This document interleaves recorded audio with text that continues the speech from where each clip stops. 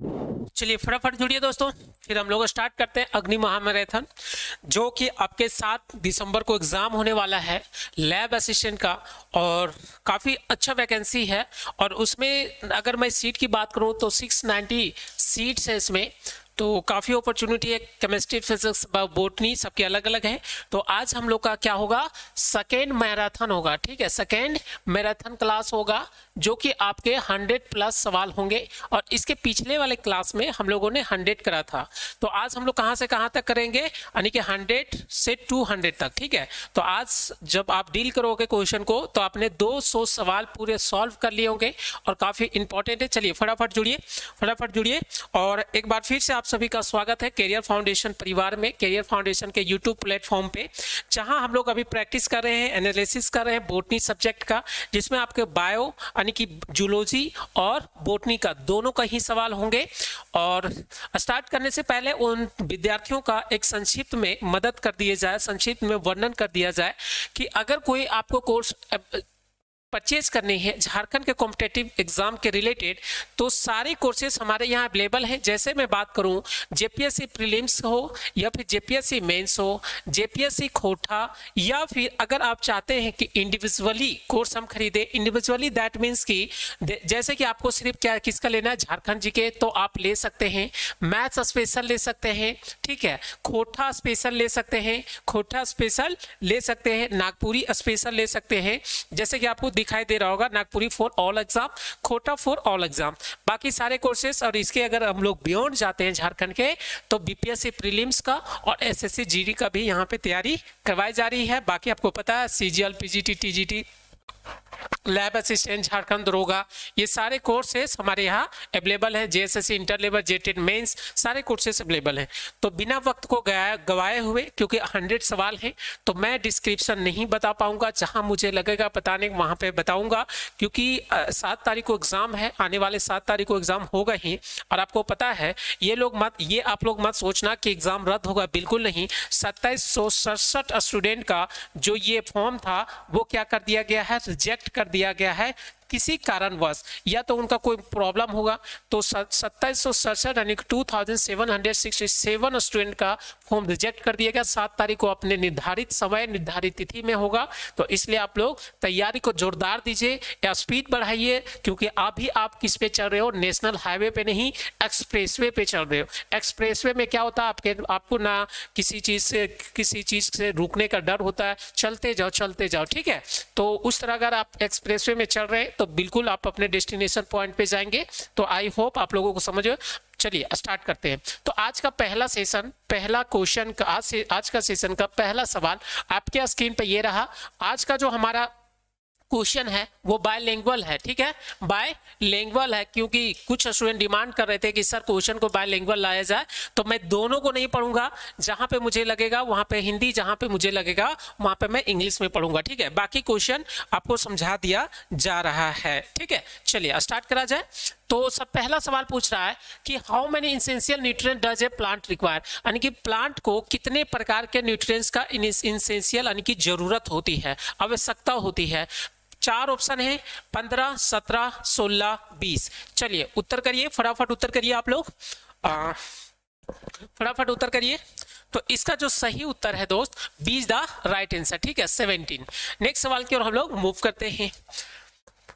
कहता है कि निम्नलिखित में से कौन सा खनिज ऊर्जा का भंडारण एडीपी को एटीपी अणुओं में स्थानांतरित करता है? यानी कि एडीपी को किसमें बदलता है? एटीमी में स्थानांतरित करता है। उसमें प्रमुख भूमिका जो है, वो कौन से खनिज ऊर्जा? Major storage transfer into molecules phosphorus magnesium poly molybdenum या फिर नन ऑफ़ दीज चलिए, फटाफट इसका उत्तर करिए। फटाफट उत्तर करिए दोस्त। फटाफट उत्तर करिए आप लोग। चलिए तो इसका जो सही उत्तर होगा ए इज़ द फास्फोरस ठीक है? सेकेंड सवाल आपके स्क्रीन पे ये रहा, कहता है कि प्लांट जो एब्जॉर्ब करता है न्यूट्रिएंट्स को थ्राउ दियर किसके द्वारा? रूट्स के द्वारा स्टेम के द्वारा लीव्स के द्वारा या फ्लावर्स के द्वारा? चलिए, फटाफट उत्तर करिए, फटाफट उत्तर करिए। प्लांट्स जो न्यूट्रिएंट्स को एब्जॉर्ब करता है, वो किसके द्वारा? डैश डैश, यहाँ पे आपको क्या होगा? वो आपको बताना है। तो चलिए, फटाफट इसका उत्तर करिए। फटाफट इसका उत्तर करिए दोस्त। तो A is the right answer ठीक है? रूट्स होगा। जड़ के माध्यम से प्लांट जो है, न्यूट्रिएंट्स को एब्जॉर्ब करती है ओके चलिए। चौथा सवाल आपके स्क्रीन पे ये रहा कि निम्नलिखित में से कौन सा खनिज पत्तेदार सब्जियों में सूक्ष्म पदार्थ की मात्रा और गुणवत्ता, अनाज और फ़सलों में प्रोटीन दोनों में सुधार करने में मदद करती है? ठीक है which of the following minerals in improving both quantity और क्वालिटी क्वांटिटी और क्वालिटी दोनों को? तो आपके सामने चार ऑप्शन है आयरन कोपर नाइट्रोजन पोली बेडेनम चलिए, इसका उत्तर करिए क्वेश्चन नंबर फोर का फटाफट उत्तर करिए। क्वेश्चन नंबर फोर का फटाफट उत्तर करिए। क्वेश्चन नंबर फोर का उत्तर करिए आप लोग। चलिए, थोड़ा सा आगे। C C is the right answer nitrogen ठीक है? सवाल को देखिए और यहाँ से मल्टीपल सवाल बनेंगे, ठीक है? क्योंकि यहाँ पे आप देख रहे हैं कौन कौन सा है, गुणवत्ता के साथ साथ क्या आपको देखना है क्वांटिटी के साथ साथ क्वालिटी को भी देखना है, ठीक है? यानी कि मात्रा के साथ साथ दोस्त क्वालिटी को देखना है, ठीक है? गुणवत्ता को भी देखना है तो यहाँ से मल्टीपल सवाल बन सकते हैं। आई होप आप लोगों को समझ आ रही होगी, क्योंकि ये मेरा अग्नि महामैराथन है तो ज़्यादा मैं डिस्क्रिप्शन यहाँ पे दूँगा तो काफ़ी टाइम टेकिंग होगा और समय भी आपके पास नहीं है, ठीक है? चलिए, जिन लोगों को रटन विद्या में ताकत होती है, बहुत रटने की बहुत आवश्यकता या तो फिर बहुत तेज होते हैं, वो लोग रट लें। सवाल आपको देखने को मिलेंगे एग्ज़ाम के बाद हम लोग मिलेंगे, इसका एनालिसिस करेंगे कि हमारे सेशन से कितने सवाल आपके एग्ज़ाम में आए हुए थे, ठीक है? चलिए। Which of the following statement false about nutrition कहता है कि इसमें से कौन सा कथन जो है, पोषण के बारे बारे में असत्य है, ठीक है? अबाउट फॉल्स ठीक है फॉल्स चलिए, चार ऑप्शन है आपके सामने।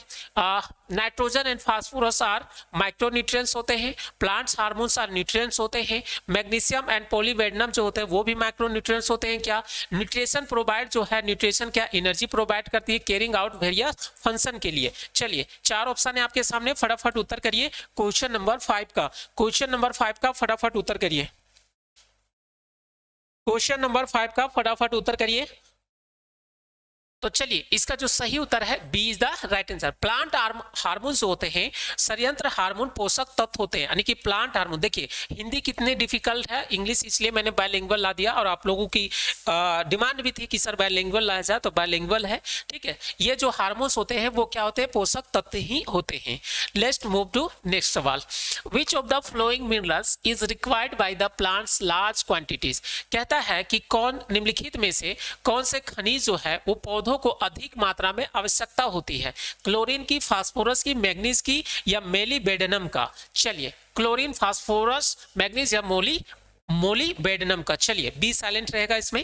क्वेश्चन नंबर सिक्स का फटाफट आप लोग उत्तर करिए। क्वेश्चन नंबर सिक्स का फटाफट उत्तर करिए। क्वेश्चन नंबर सिक्स का फटाफट आप लोग उत्तर करिए। क्वेश्चन नंबर सिक्स का फटाफट आप लोग उत्तर करिए दोस्त। चलिए तो इसका भी उत्तर क्या हो जाएगा? फास्फोरस फास्फोरस को अगर देखा जाए तो आप लोग यहाँ पे क्या बनाएँगे? एक कीवर्ड बनाएँगे, और जिससे आप लिखेंगे कि ये कैसा कैसा, क्या क्या, इसका 360 हो सकता है। 360 खींचेंगे, ठीक है? इसका डायमेंशन कितना खींचेंगे? 360 तो आप लोग याद रखिएगा। नेक्स्ट सवाल आपके स्क्रीन पे ये रहा दोस्त, कि जो ये है क्लोरोलेसिस है, या पत्तियाँ, पत्तियों जो होता है, पत्ती लीफ पीलापन है जो कि कमी के कारण होता है। आप देखते होंगे कि ये कोई पत्ती है, ठीक है, ये कोई पत्ती है और इसकी जो पत्ती होती है वो एलोइस हो जाता है। कैसा हो जाता है? एलोइस हो जाता है। तो ये किसके कारण होता है? ये किसके कारण? Chlorosis is yellowing of the leaves cause due to deficiency of किसके कारण? जिंक के कारण, पोटेशियम के कारण, मैग्नीज के कारण या ऑल ऑफ़ दी एव चलिए, फटाफट उत्तर करिए। सेवन का फटाफट उत्तर करिए दोस्त। सेवन का फटाफट उत्तर करिए आप लोग। सेवन का फटाफट उत्तर करिए। सेवन का फटाफट उत्तर करिए। चलिए तो इसका जो सही उत्तर होगा, वो क्या? आप लोग उत्तर करिए फटाफट।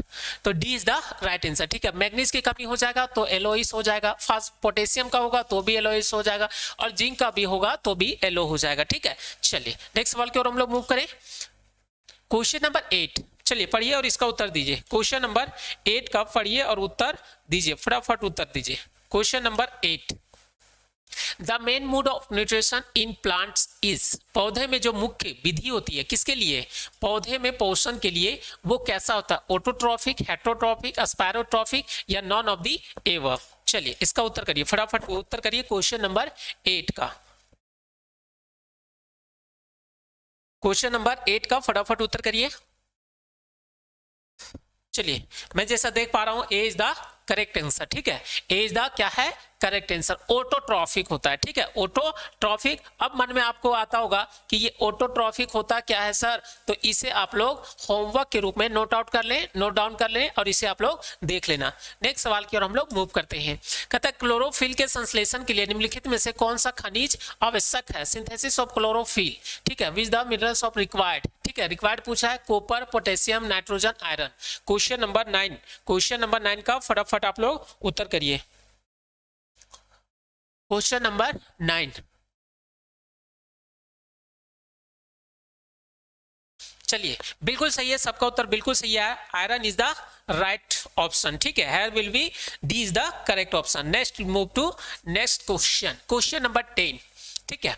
काफ़ी सवाल इंपॉर्टेंट है। आप लोग ध्यानपूर्वक देखिए वीडियो को पॉज करके देखिए स्टॉप करके देखिए, और रट्टा मारिए, ठीक है? क्योंकि सात तारीख को एग्ज़ाम है। आपके पास दूसरा कोई और कोई क्या है? रास्ता नहीं है। सात तारीख को एग्ज़ाम में काफ़ी अच्छी अपॉर्चुनिटी है। बिग ग्रेड का जॉब है।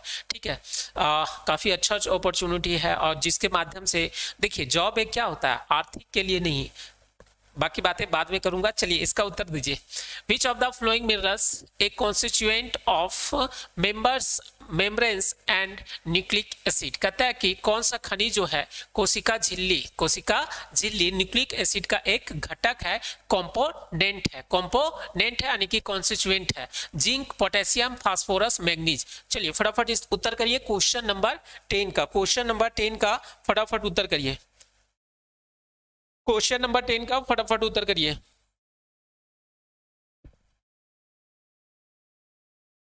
चलिए तो इसका भी उत्तर क्या होगा? फास्फोरस देख रहे हैं फास्फोरस का कितना काम है? फास्फोरस का कितना काम है, ये आप देख पा रहे अगर इसकी कमी हो जाएगा तो पत्ते कैसा हो जाएँगे? एलोइस हो जाएँगे, ठीक है? चलिए नेक्स्ट सवाल की ओर हम लोग मूव करते हैं। Question number eleven the term chromosome was coined by chromosome सबसे पहले इसका शब्द किसने, किसके द्वारा दिया गया था, गढ़ा गया था, बताया गया था, लोगों को दुनिया में किसके द्वारा? सटन के द्वारा, बावेरी के द्वारा, वाल्डेयर या होप हॉप हॉप, मिस्टर के द्वारा? चलिए, फटाफट इसका उत्तर करिए, question number eleven, question number eleven. Sutton, Boveri Waldeyer या हॉपी, मिस्टर? चलिए, फटाफट इसका उत्तर करिए। Question number eleven, question number eleven. फटाफट उत्तर करिए। तो इसका जो सही उत्तर होगा दोस्त C is the right answer Waldeyer जो थे, इन्होंने सबसे पहले गुणसूत्र शब्द के, शब्द को गाढ़ा था या फिर बताया था, हल्ला किया था सुर मचाया था, ठीक है? तो वाल्डेयर इसको आप लोग याद रखिएगा इंपॉर्टेंट सवाल है, ठीक है? चलिए। कहता है कि पुरुषों में कलर ब्लाइंडनेस के लिए कौन सा जीन में स्थित होता है? पुरुषों में जो कलर ब्राइंडनेस होता है, उसकी लोकेशन कहाँ पे होती है? ठीक है? लोकेशन कहाँ पे होती है? एक्स क्रोमोजोम पे वाई पे, या both X and Y and either इसमें से एक्स या फिर वाई पे। चलिए, या तो एक्स पे या फिर वाई पे। चलिए, फटाफट हिंदी, इंग्लिश दोनों देख लीजिएगा। फटाफट इसका उत्तर करिए क्वेश्चन नंबर बारह। क्वेश्चन नंबर बारह। कलर ब्राइंडनेस जो होती है पुरुषों में वो उस, वो किस क्रोमोजोम पे, उसकी लोकेशन होती है? एक्स पे वाई पे, दोनों पे, या फिर एक्स या फिर वाई पे? चलिए, फटाफट इसका उत्तर करिए आप लोग। तो इसका जो सही उत्तर होगा is the right answer X chromosome पे। क्या दोस्त? एक्स क्रोमोजोम पे क्या होती है?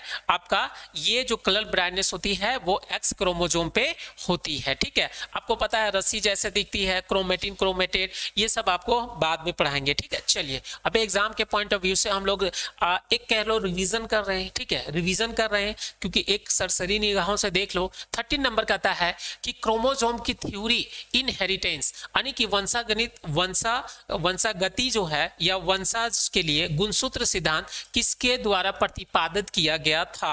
इनहेरिटेंस सटन के द्वारा बावरी के द्वारा कोरेंस के द्वारा, या ए और बी दोनों। चलिए सटन बावरी कोरेंस या ए और बी दोनों question number thirteen question number thirteen का फटाफट उत्तर करिए। क्वेश्चन नंबर थर्टीन का फटाफट उत्तर करिए। चलिए। उत्तर करिए दोस्त। Question number thirteen. मैं आपके उत्तर का वेट कर रहा हूँ। इसका जो सही उत्तर होगा कॉरेंस तो आपने कहीं पढ़ा नहीं था तो ये तो होगा नहीं, ये दोनों होगा, ठीक है? डी दोनों ए और बी यानी कि ए और बी जो थे वंशागणित या वंशानुज के गुणसूत्र का सिद्धांत का क्या किया था? प्रतिपादन दिया था, यानी कि प्रिंसिपल दिया था, ठीक है? Who propose the chromosomal theory of inheritance ठीक है? हिंदी छोड़िए, इंग्लिश पढ़िए, ज़्यादा समझ में आएगा। चलिए नेक्स्ट सवाल question number fourteen which of the following is called sex link disease जो सेक्स लिंक डिज़ीज़ जो होता है, उसे क्या कहा जाता है? ल्यूकमेनिया ठीक है? ल्यूकमेनिया अल्जाइमर या फिर कुरूपता या फिर रंग, अंधापन कलर ब्लाइंडनेस ठीक है कलर ब्लाइंडनेस चलिए, फटाफट इसका उत्तर करिए क्वेश्चन नंबर 14 का। क्वेश्चन नंबर 14 का फटाफट उत्तर करिए। निम्नलिखित में से किसे सेक्स से जुड़ी बीमारी कहा जाता है? फटाफट इसका उत्तर करिए।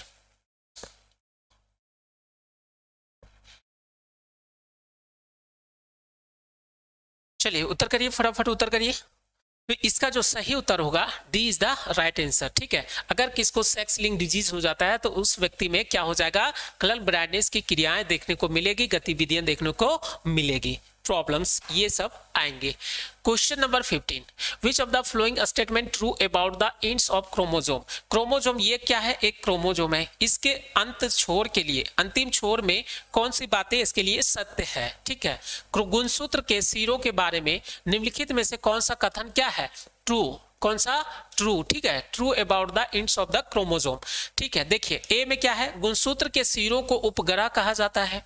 गुणसूत्र के सिरों को सेंटी सेंटीमियर कहा जाता है। ठीक है, या गुणसूत्र के सिरों को टेलोमेरस कहा जाता है, या फिर गुणसूत्र के सिरों को काइटो काइटो कैनाइटोकोर कहते हैं। चलिए, फटाफट करिए। गुणसूत्र होते हैं, आपको पता है, गुणसूत्र होते हैं। तो इसके टेल को, इस सॉरी इसके सिर को, इसके सिर को क्या कहा जाता है? चलिए, फटाफट इसका उत्तर करिए, क्वेश्चन नंबर 15 क्वेश्चन नंबर 15 का फटाफट आप लोग उत्तर करिए।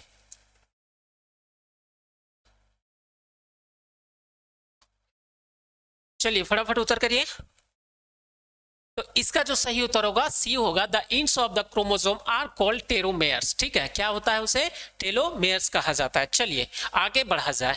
How many sex chromosome are present in human beings यानी कि ह्यूमन बींग्स में कितने गुणसूत्र, लिंग गुणसूत्र पाए जाते हैं? एक जोड़ी, दो जोड़े, तीन जोड़े, चार जोड़े। One pair two three four चलिए, फटाफट उत्तर करिए। काफ़ी आसान सा सवाल है ये। काफ़ी आसान सा सवाल है। फटाफट इसका उत्तर करिए। तो इसका सही उत्तर क्या होगा दोस्त? बिल्कुल सही आप लोग सही उत्तर कर रहे हैं। One is the correct option A एक पेयर ठीक है? एक पेयर चलिए, आगे बढ़ा जाए। कहता है कि गुणसूत्रों का अवलोकन करने वाला प्रथम व्यक्ति कौन था? Who was the first person to observe the chromosome chromosome को फ़र्स्ट टाइम कैसे पता चला? कैसे पता चला कि मानव जाति में क्रोमोजोम नामक की एक भी कोई चीज़ ऐसी होती है? ठीक है। फ्लेमिंग को वाल्डेयर को स्टार्स बर्गर को या हॉप मिस्टर को? चलिए, फटाफट इसका उत्तर करिए। क्वेश्चन नंबर 17 क्वेश्चन नंबर 17 का फटाफट आप लोग उत्तर करिए। चलिए, जितने भी लोग जुड़े हैं, फटाफट उत्तर करिए। नाम लेना पॉसिबल नहीं है दोस्त, क्योंकि काफ़ी स्टूडेंट हैं और सबका अगर मैं नाम लेने लग जाऊँगा तो काफ़ी टाइम टेकिंग होगा और हमारा क्विक रिवीजन है। जितना ज़्यादा से ज़्यादा हो सके आप लोगों के लिए मैं सेशन लाऊँगा। चलिए तो इसका जो राइट आंसर होगा D is the right answer Hofmeister ने गुणसूत्र का अवलोकन करने वाला प्रथम व्यक्ति था। ठीक है, चलिए, आगे बढ़ा जाए। Question number 18 which of the following statement true about the metaphase आपको पता है मेटा प्रोफेज मेटाफेज टेलोफेज ये सारी फेजे फेजेस होती हैं। तो कहता है कि मेटाफेज के बारे में निम्नलिखित में कौन सा कथन क्या है? सत्य है ट्रू क्या छापना है? ट्रू ठीक है? तो आपको ये पता है। पहला मेटाफेज के दौरान एक गुणसूत्र सबसे मोटा होता है। मेटाफेज के दौरान एक गुणसूत्र सबसे छोटा होता है। मेटाफेज के दौरान एक गुणसूत्र सबसे लंबा होता है, या दोनों ए और बी चलिए, फटाफट इसका उत्तर करिए। सर्च करने का ऑप्शन नहीं है, दोस्त वरना मैं आप लोगों को दिखा देता।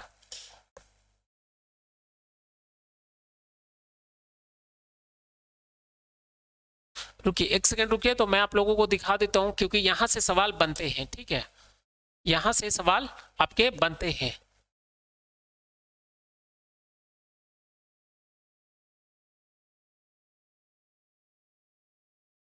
देखिए, अगर मैं इस इमेज को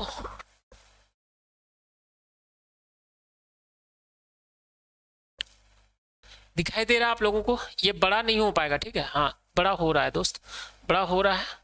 ठीक है, यहाँ से देखिए मेटाफेज के बारे में आपसे पूछ रहा है। कौन सा कथन पूछा है दोस्त? मेटाफेज के बारे में पूछा है। तो मेटाफेज में आप देख पा रहे होंगे मेटाफेजा में, ओहो, छोड़िए, बाद में अच्छा देख लीजिए। देख ही लीजिए आप लोग।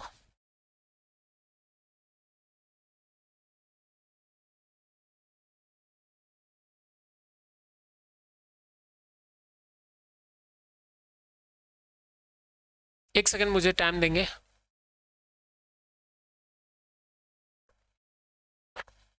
देखिए, यहाँ पे आप लोग को दिख रहा होगा कि मेटाफेस ठीक है? आपको यहाँ से देखिए इंटरफेस प्रोफेस प्रमोट फ़ेज़ ठीक है? फिर मेटाफेस फेस टेलो फेस ठीक है?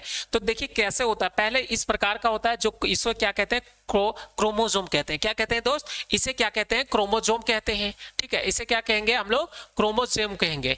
उसके बाद इंटरफेज इंटरफेज में क्या होता है? फोर्टी सिक्स क्रोमोजोम होता है, आपको पता है। ये क्या होता है? डुप्लीकेट क्रोमेटिन होता है। यानी कि ये धागे नुमा संरचना होती है। दोस्त सॉरी नहीं बता पाऊँगा। चलिए, आगे देखिए। मैं ऐसे बता देता हूँ आप लोगों को।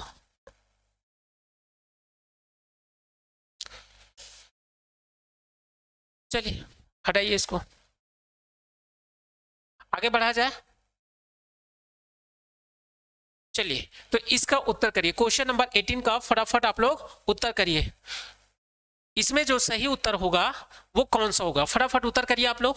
फटाफट उत्तर करिए। क्वेश्चन नंबर 18 का D is the correct option ठीक है? Both A and B C नहीं होगा, ठीक है? सी नहीं होगा, ठीक है? चलिए, आगे बढ़ा जाए। बिल्कुल सर कहता है, ये फुल्ली एक्सप्रेस्ड एल एलाई होते हैं। क्या होते हैं? एलाय होते हैं एलील जिसे आप हिंदी में एलील पढ़ते हैं। क्या कहा जाता है? एक पूरी पूरी तरह से व्यक्ति से, एक पूरी तरह से व्यक्ति एलील को क्या कहा जाता है? प्रमुख कहा जाता है, अप्रभावित, सजातीय या विषम युग्मी। ये fully fully express allele is refer to as क्या कहा जाता है? डोमिनेंट रेसेसिव आपको पता है कि दो प्रकार के क्रोमोजोम होते हैं, एक एक्स और दूसरा एक्स वाई ये बॉयज़ का है, ये गर्ल्स का है। अगर किसी को कोई प्रॉब्लम हो, जैसे आपको पता है, इसे क्या कहा जाता है? आर एच फैक्टर को आपको पता है? आर एच फैक्टर होता है, यानी कि रेसिव डोमिनेंट होते हैं, जो ताकतवर होते हैं, उसमें किसका दिखेगा? एलिन जो है, वो उसे क्या कहा जाएगा?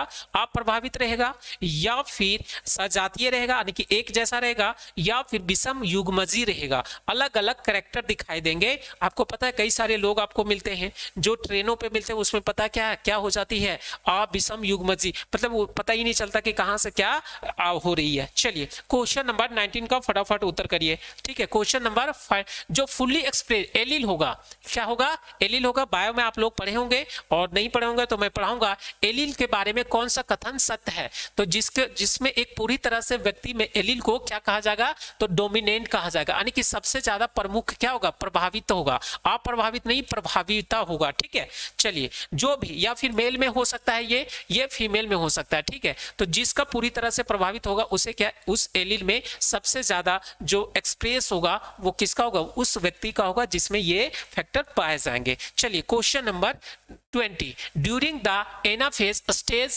stage in a bone marrow cell, each of the chromosome has. कहते हैं, अस्थि मज्जा कोशिका में एनाफेज चरण के दौरान प्रत्येक गुणसूत्र में क्या होता है? नो क्रोमेटिड्स वन क्रोमेटिड्स या फिर टू क्रोमेटिड या फिर सेवरल क्रोमेटिड्स यहाँ पे आप लोग एक मिनट रुकिए। यहाँ पे एक मिनट रुकिए आप लोग।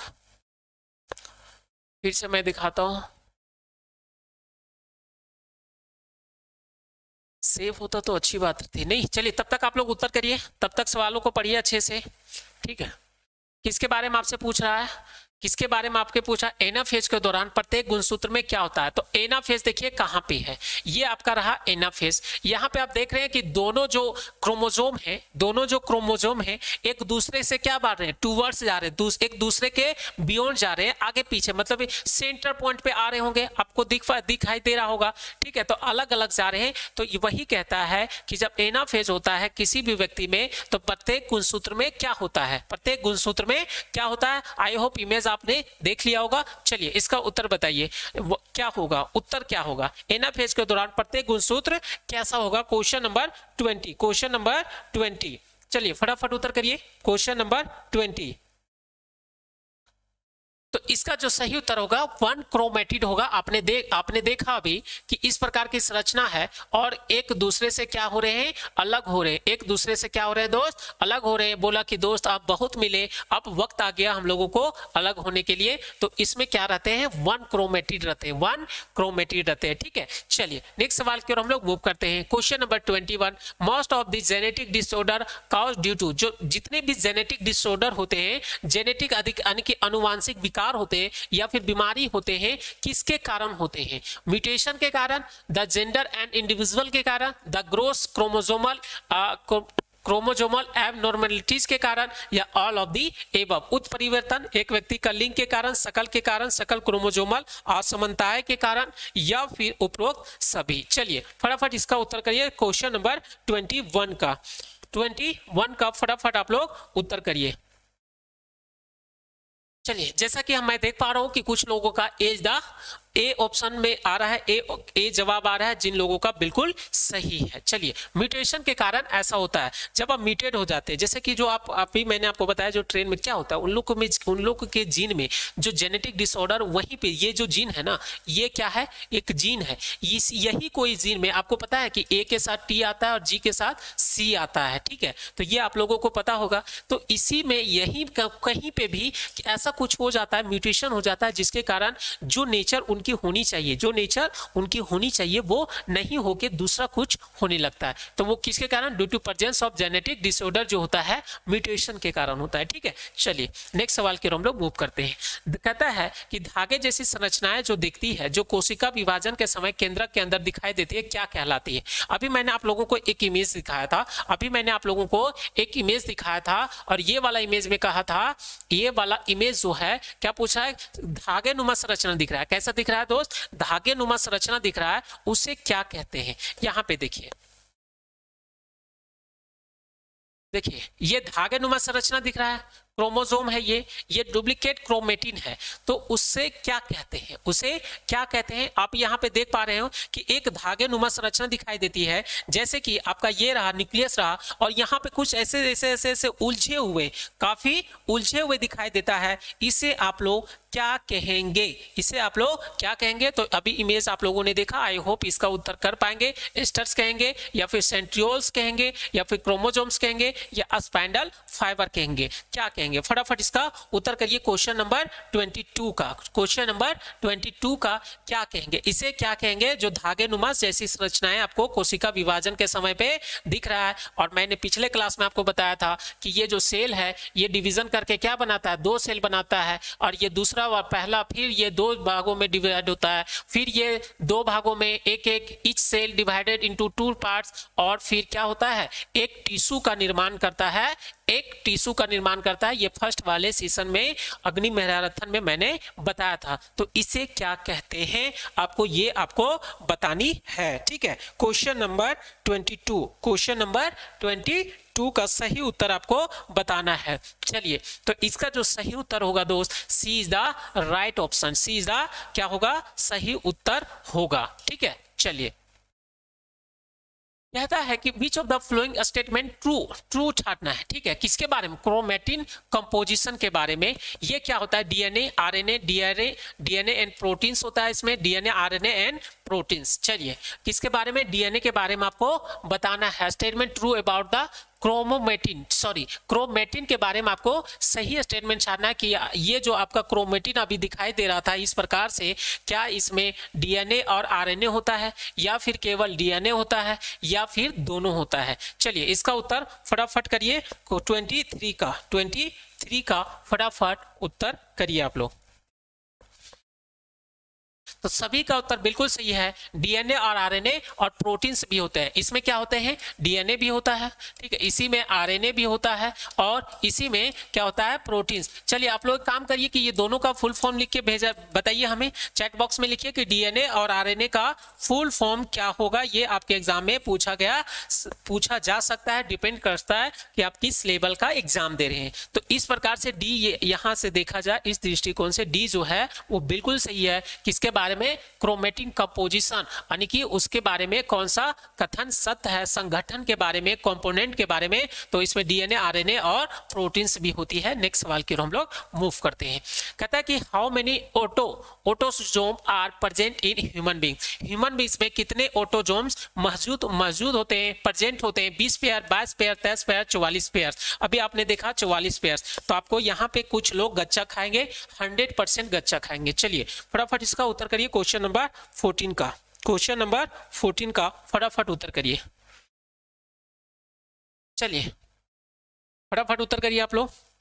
फटाफट उत्तर करिए। क्वेश्चन नंबर ट्वेंटी फोर का। अभी काफ़ी टाइम काफ़ी सवाल बचे हुए हैं। चलिए तो इसका जो सही उत्तर होगा, मैंने कहा था ना, कुछ लोग गच्चा खाएँगे बाईस पेयर, ठीक है? तभी तो होता है ना बाईस पेयर होता है, ठीक है? एक्स, वाई, इसमें भी बाईस इसमें भी बाईस ठीक है? चलिए कहता है कि which of the following living species comprises more than 200 chromosome कहता है कि निम्नलिखित में किस प्रजाति में 200 से अधिक गुणसूत्र होते हैं? अम्बीबा में, भैंस में, चिकन में या जिराफ में? चलिए 200 से अधिक गुणसूत्र होते हैं, ठीक है? वो आपको बतानी है क्वेश्चन नंबर 25 का।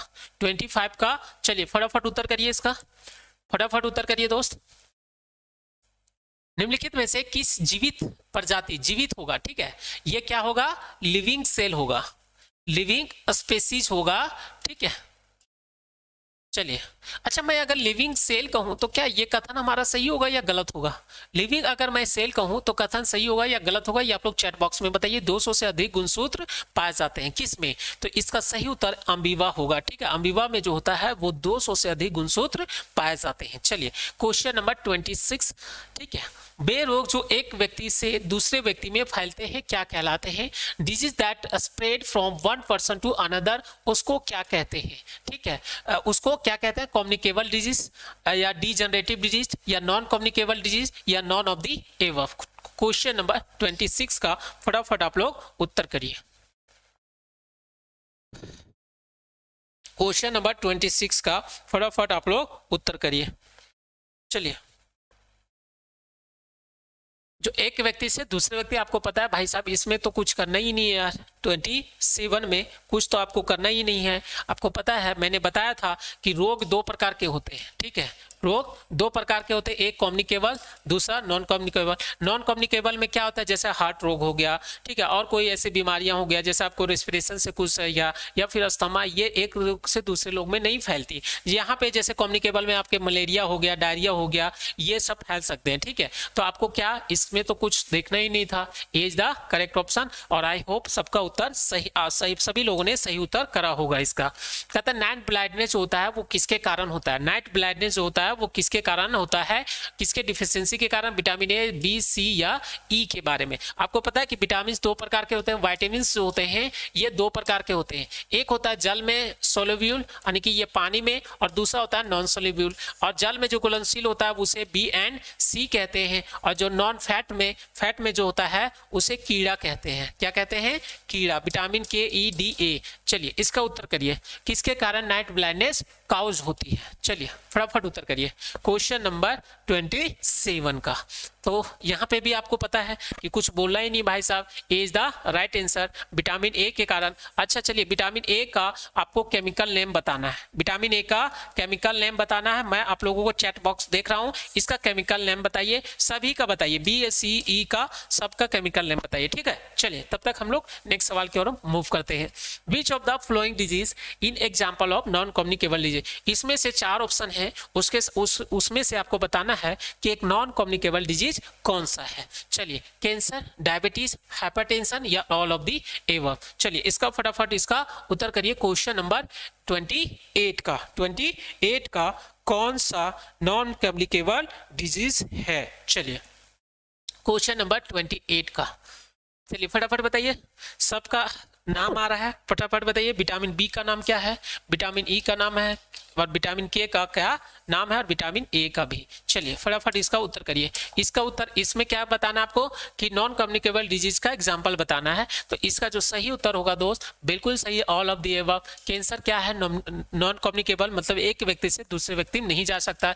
डायबिटीज़ का अगर मैं बात करूँ तो ये भी एक व्यक्ति से दूसरे व्यक्ति में नहीं जा सकता। अगर मैं हाइपर का मैं बात करूँ तो ये भी एक व्यक्ति से दूसरे व्यक्ति में नहीं जा सकता। ऐसा आपने सुना क्या? बीपी कि चलो मेरी माँ की थी बीपी तो उसके बेटे को भी हो गया, उसको बूझो को भी हो गया, ऐसा आपने कभी सुना क्या? बिल्कुल नहीं। चलिए, आगे बढ़ा जाए चलिए एल्जाइमर जो होता है एल्जाइमर या ओस्टियोप्रोसिस एग्ज़ाम्पल किसका है? अल्जाइमर और ओस्टियोप्रोसिस जो है, इसके उदाहरण कौन कौन से हैं? Communicable disease degenerative disease non communicable disease या नॉन ऑफ़ दी एवब 29 का फटाफट इसका उत्तर करिए। 29 का फटाफट आप लोग उत्तर करिए। ठीक है। ट्वेंटी नाइन का। ट्वेंटी नाइन का फटाफट उत्तर करिए। ट्वेंटी नाइन का फटाफट उत्तर करिए दोस्त। ठीक है। तो ये किसका एग्ज़ाम्पल है? ये इसका जो सही उत्तर होगा B is the right answer degenerative disease that means कहने का मतलब अपक्षयी रोग है अपक्षयी रोग है। चलिए, कुछ लोगों का फुल फॉर्म सही आ रहे हैं बट कुछ लोग गलत कर रहे हैं। जो लोग गलत कर रहे हैं, वो अपना सुधार ले। चलिए, कहता है कि एक्सेसिव जो होता है, जो चोट लगने पर अत्यधिक रक्त रक्त रक्त स्राव जो होता है, वो किसकी कमी से होता है? ये आपने एक नाम सुना होगा ब्लड क्लोटिंग के बारे में। ब्लड क्लोटिंग के बारे में जब आपको चोट लग जाती है या आपको ब्लीडिंग हो जाता है। ब्लीडिंग मतलब ब्लड का बहाव होना ब्लड का बहाव होना। तो ये कौन से विटामिन के डेफिशिएंसी के कारण होता है? कौन से विटामिन की डेफिशिएंसी के कारण होता है कि आपका रक्त का थक्का जो है, वो नहीं बन पाता? वो आपको इस सवाल में पूछा गया सवाल है। Vitamin C vitamin B vitamin K vitamin E चलिए, फटाफट इसका उत्तर करिए। क्वेश्चन नंबर थर्टी का। क्वेश्चन नंबर थर्टी का किसके कारण आपका जब आपको चोट लग जाती है तो आपकी ब्लीडिंग जो है, वो रुकती नहीं है। किसके कारण? किसके डिफिशियंसी के कारण? तो आपको पता है कि ये जो है, वो विटामिन वाइटामिन के के कारण ऐसा होता है और के का इंग्लिश नेम क्या है, ये आपको बतानी है। चलिए, फटाफट इसका उत्तर करिए। तो वाइटामिन के के कारण।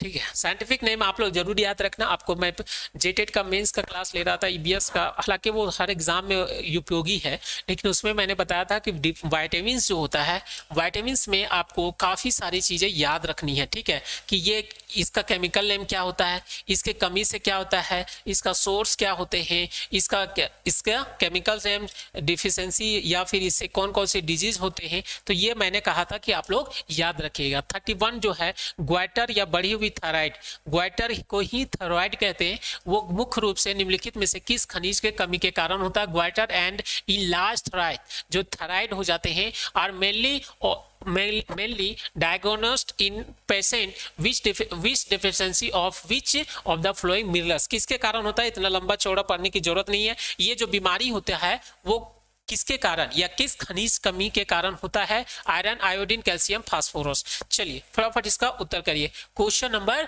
थर्टी वन का में हम लोग पहुँच चुके हैं, दोस्त। क्वेश्चन नंबर थर्टी वन में हम लोग पहुँच चुके हैं। ठीक है, क्वेश्चन नंबर हम लोग पहुँच चुके हैं। चलिए, फटाफट इसका उत्तर करिए। तो इसका जो सही उत्तर होगा B is the right answer iodine के कारण, ठीक है? किसके कारण दोस्त? आयोडीन की जब कमी होगी तो आपकी थोराइड जैसी बीमारियाँ आपको से, आप उससे क्या हो जाएँगे? ग्रसित हो जाएँगे, ठीक है? चलिए थर्टी टू नंबर कहता है, जो साइटिक होता है, साइटिक फाइब्रोसिस जो होता है, वो और हीमोफीलिया किसका उदाहरण है? दो प्रकार के यहाँ पे डिज़ीज़ का नाम है, ये देखिए। यहाँ से कैसे सवाल बना सकता है? एक साइट्रिक फाइब्रोसिस और हीमोफीलिया जो है, पूछ रहा है किसका एग्ज़ाम्पल है। यहाँ पे आपसे पूछ सकता है कि जो साइट्रिक फाइब्रोसिस जो होता है और हीमोफीलिया जो होता है, वो किसके कारण फैलता है? यहाँ दो तरफ़ के सवाल बन सकते हैं, या किसके कमी के कारण होता है, या फिर ये क्या कॉम्युनिकेबल है नॉन कॉम्युनिकेबल है, या फिर ये वंशानुगत बीमारियाँ हैं तो क्या है? यहाँ पे आपसे क्या पूछा है कि ये किसका उदाहरण है? किसका वंशानुगत रोग का अपक्षयी बीमारी का, या कमी से होने वाले रोग का, या उपयुक्त में से कोई नहीं। चलिए, पता फटा सॉरी उपरोक्त में से कोई नहीं नॉन ऑफ़ दी एव चलिए, इसका उत्तर करिए थर्टी टू का फटाफट उत्तर करिए दोस्त। चलिए, फटाफट उत्तर करिए। Question number thirty two.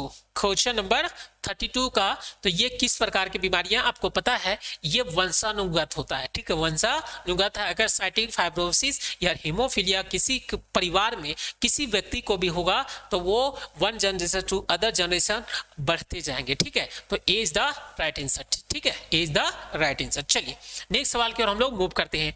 ये सारे पोर्सन इंपॉर्टेंट है, आप लोग इसे सी टी एम कर लेना, ठीक है? सी टी एम मतलब this would be committed to memory ठीक है? चलिए, आगे बढ़ा जाए। Which of the following disease cause by various pathology microorganism कहता है कि माइक्रो ऑर्गेनिज्म जो रोग जनक है सूक्ष्म जीवों के कारण होती है। इसमें से कौन सा रोग जो है, वो विभिन्न पैथोजन के कारण होती है? ठीक है डिफिशियंसी डिज़ीज़ है हेरिडेटरी डिज़ीज़ है, या इन्फेक्शस डिज़ीज़ है, या डीजनरेटिव डिज़ीज़ है, जिसे आप क्या कहते हैं? आप छही रोग कहते हैं। तो थर्टी थ्री का फटाफट आप लोग उत्तर करिए। थर्टी थ्री का फटाफट आप लोग उत्तर करिए। चलिए पैथोजन के कारण पहले क्या? अभी मैंने कहा था आप लोग, आपको कि दो प्रकार की डिज़ीज़ होती है। दो प्रकार की डिज़ीज़ होती है। एक होता है कॉम्युनिकेबल दूसरा होता है नॉन कॉम्युनिकेबल यार, एक बात बताओ, ये जो कॉम्युनिकेबल होगा, ये किसी पैथोजन के कारण ही फैलेगा? किसी पैथोजन के कारण ही फैलेगा?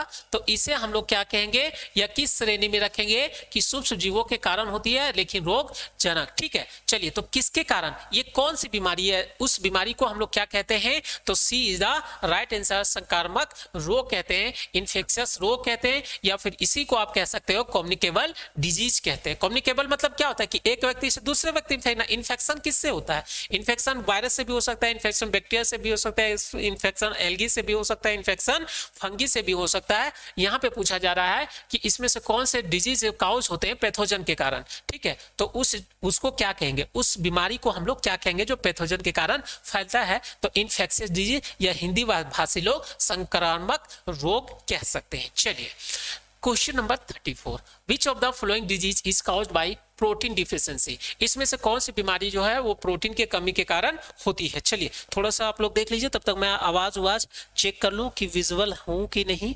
चलिए, इसका उत्तर करिए। Question number thirty four question number thirty four का फटाफट आप लोग उत्तर करिए। एनीमिया क्वास्कियर या फिर हाइपोथायराइडिज्म या फिर उपरोक्त में से सभी। चलिए, इसका उत्तर करिए। फटाफट उत्तर करिए क्वेश्चन नंबर थर्टी फोर का। तक मैं थोड़ा पानी पी लू।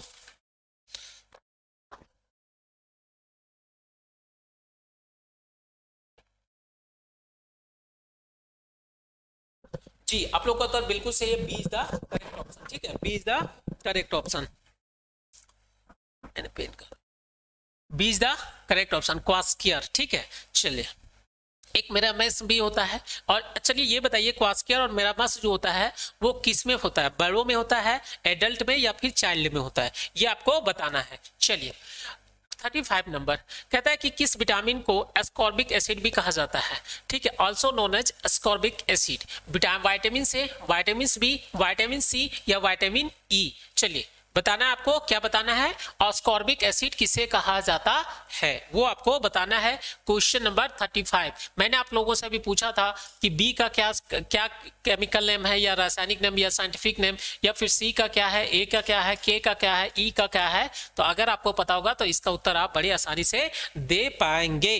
क्वेश्चन नंबर थर्टी फाइव का अस्कॉर्बिक एसिड किसे कहा जाता है? और तो विटामिन वाइटामिन सी को कहा जाता है। अच्छा एक बात बताइए, सबसे अच्छा सोर्स जो होता है, सबसे अच्छा जो सोर्स होता है, स्रोत होता है वाइटामिन का, विटामिन सी का, वो किसमें होता है? आंवला में होता है। यहाँ पे आपको ऑप्शन दिए जाएँगे। आंवला में होता है या फिर संतरा में होता है या फिर अमरूद में होता है। चलिए, इसका उत्तर आपको चैट बॉक्स में बताना है कि सबसे अच्छा richest source of vitamin C vitamin C किसमें पाया जाता है? तो आंवला संतरा नारंगी आपको बताना है। चलिए क्वेश्चन नंबर 36 क्वेश्चन नंबर 36 में है कि कहता है कि the deficiency disease can be prevented by जो कमी से होने वाले रोग है वो रोका जा सकता है। किसके द्वारा? आ, किसके द्वारा रोका जाता है? लंबे समय तक खाना बनाने बना के केवल फल खा के केवल सब्ज़ियाँ खा के या फिर अच्छे पोषण मूल्य साथ के अच्छे पोषण के साथ मोस्ट न्यूट्रेंट के साथ साथ भोजन करना। तो किससे हम लोग बच सकते हैं? आखिर हम लोग जो कमी के कारण जो बीमारी होती है वो किससे किस प्रकार से हमको उसको, किस प्रकार से हम उसे प्रिवेंट कर सकते हैं, संरक्षण कर सकते हैं, रोक सकते हैं। चलिए तो कैसे कर सकते हैं? उत्तर बताइए। ऑप्शन पढ़ के ही आपको लग रहा होगा कि उसका, इसका उत्तर जो है मोस्ट अप्रोप्रिएट वो कौन सा होगा? थर्टी सिक्स का फटाफट उत्तर करिए। तो आपको पता है कि eating food with good nutrition value अगर आपके थाली में सभी प्रकार की चीज़ें हैं, इसमें थोड़ा सा क्या है? फ़ूड के साथ साथ क्या है दोस्त? फ़ूड के साथ वेजिटेबल्स भी हैं, कुछ नॉनवेज भी हैं, कुछ भेज भी हैं, कुछ घी भी हैं, कुछ क्या है? अच्छे न्यूट्रिय ड्राई फ्रूट्स भी हैं, कुछ क्या है? जूस भी हैं तो आप क्या कर सकते हैं कि जो रोग होती है कमी के कारण due to deficiency disease can be prevented या जो उससे होने वाले बीमारी को हम लोग क्या कर सकते हैं? हम लोग बच सकते हैं। तो किसके कारण? अच्छे पोषण वाला खाना खाओ भैया, और उसके साथ साथ अच्छे तरीके से भोजन करो, ठीक है? चलिए नेक्स्ट सवाल की ओर हम लोग मूव करते हैं। क्वेश्चन नंबर थर्टी सेवन जो कि काफ़ी इंपॉर्टेंट है और कई बार एग्ज़ाम में पूछे गए गए हैं। इसे मैं तीन स्टार दूँगा और तीन स्टार के साथ साथ एक और रिकमेंड चीज़ मैं करूँगा कि सीटीएम कर लेना। This should be commented to do memory AIDS जो होता है, सामान्य सर्दी, डेंगू, बुखार और इन्फ्लूजा के कारण के उदाहरण है। AIDS common cold dengue fever in influenza are example of किसका? डिफिशियंसी डिफिशियंसी डिज़ीज़ का इन्फेक्शियस डिज़ीज़ का फिजियोलॉजिकल डिज़ीज़ का या नॉन इन्फेक्शन डिज़ीज़ का। क्वेश्चन समझ में आया? ये जो एड्स होता है ना, उसमें क्या एड्स हो गया या सामान्य सर्दी हो गया या डेंगू बुखार हो गया या फिर इन्फ्लूजा के कारण? ये किसका उदाहरण है? ये किसका उदाहरण है? विटामिन के कमी के कारण होता है, किसी के कारण होता है, या शारीरिक के रूप के कारण होता है, या नॉन इन्फेक्शन यानी कि बिना इन्फेक्शन के कारण होता है, ये आपको बताना है क्वेश्चन नंबर 37 का फटाफट इसका उत्तर करिए। 37 का फटाफट उत्तर करिए। चलिए तो ये जो बीमारी है, आपको पता है एड्स एड्स को ही देख लो ना भैया इसके बारे में नहीं पता। हमें कुछ नहीं पता, मैं अनून हूँ, मैं नदान हूँ, मैं ना समझ हूँ, मैं अशिक्षित हूँ, लेकिन जो लोग एड्स के बारे में पता है तो उनको पता है कि भैया, ये तो ऐसे होती नहीं है, ये कैसा रोग है? संक्रामक रोग है, ठीक है? संक्रामक रोग है, यानी कि इन्फेक्शियस डिज़ीज़ है, और इसे आप क्या कह सकते हो? कॉम्युनिकेबल डिज़ीज़ है। अभी मैंने आप लोगों को बताया था, ठीक है? चलिए।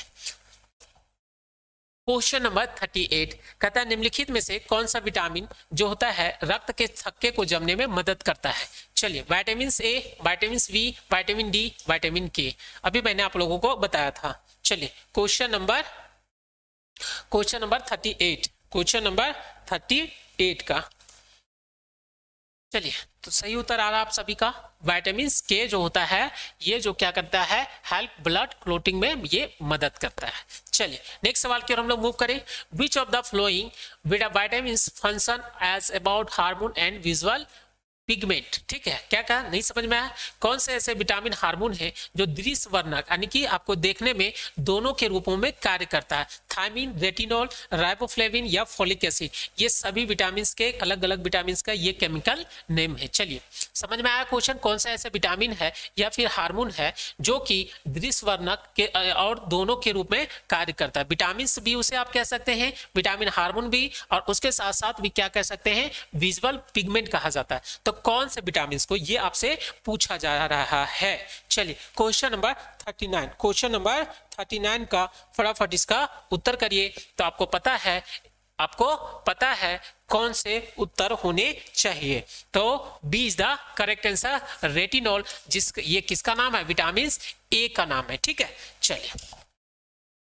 Question number 40 which of the flowing vitamin is also known as niacin and plays a vital role in many digestive system? कहता है कि विटामिन को नियास, नियासिन के रूप में भी जाना जाता है और पाचन तंत्र के कई कार्यों में यह क्या करता है? महत्वपूर्ण भूमिका निभाता है। कौन सा vitamin vitamin B one vitamin B two vitamin B three vitamin B twelve चलिए फटाफट उत्तर करिए। क्वेश्चन नंबर फोर्टी का। क्वेश्चन नंबर फोर्टी का फटाफट उत्तर करिए।